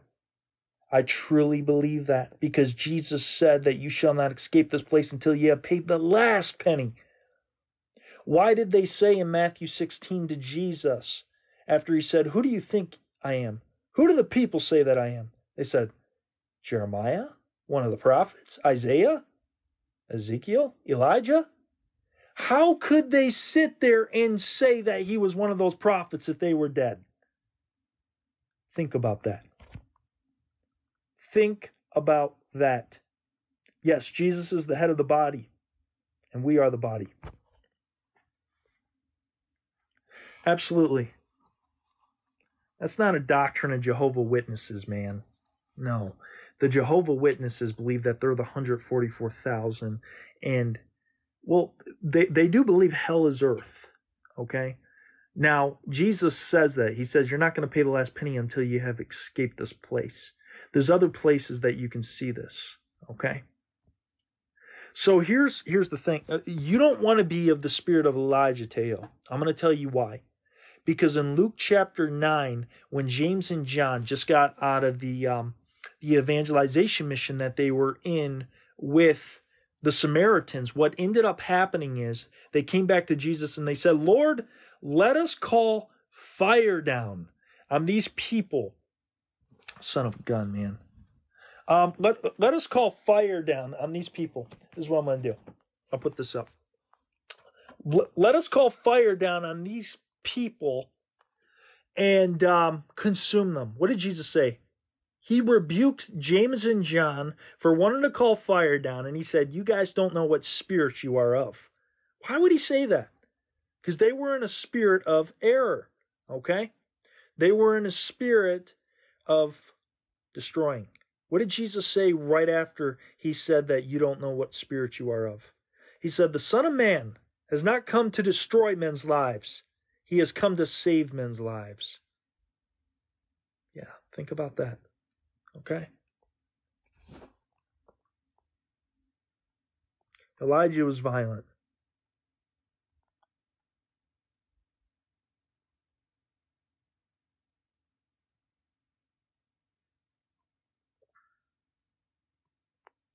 Elijah was violent.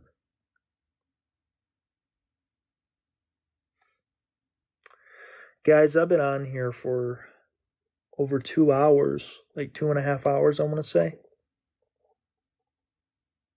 That's what it says, man.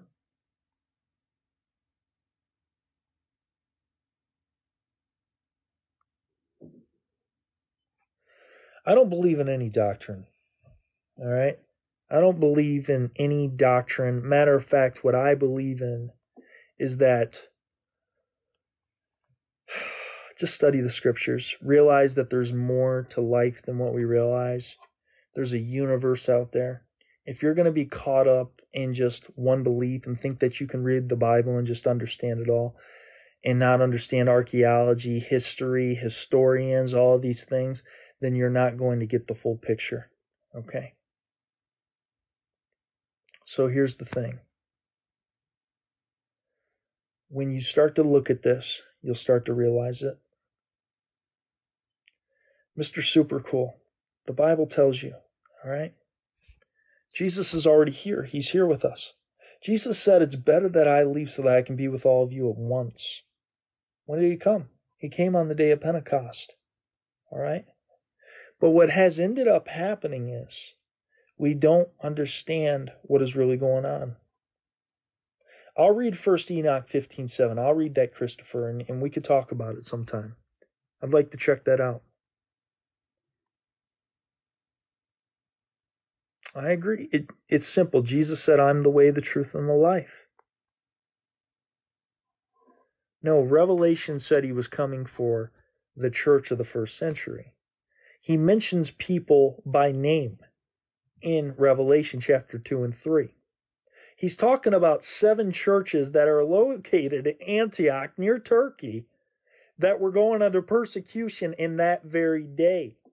It's not about us, it was about the first century church. I agree, Christopher. I know what you're getting at.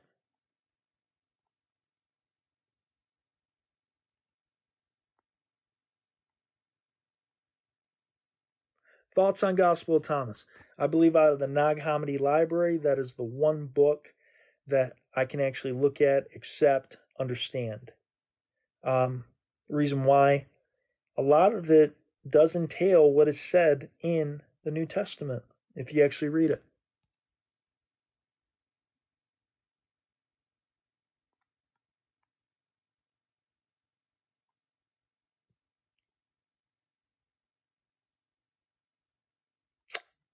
Guys, but anyways, I'm going to go ahead and jump up off here. I pray that everyone has enjoyed this live. I pray that this has helped. Um, I'm I'm pretty tired right now. I uh, I'm exhausted. That lie that uh I don't want to say debate, but that talk with that guy earlier really oh man, that was that, that was a lot how he was trying to skip around on some stuff.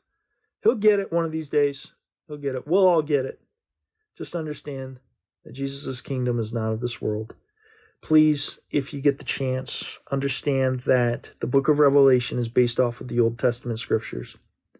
Out of the 404 verses in the book of Revelation, 278 of them are allusions back to the Old Testament imagery of the scriptures.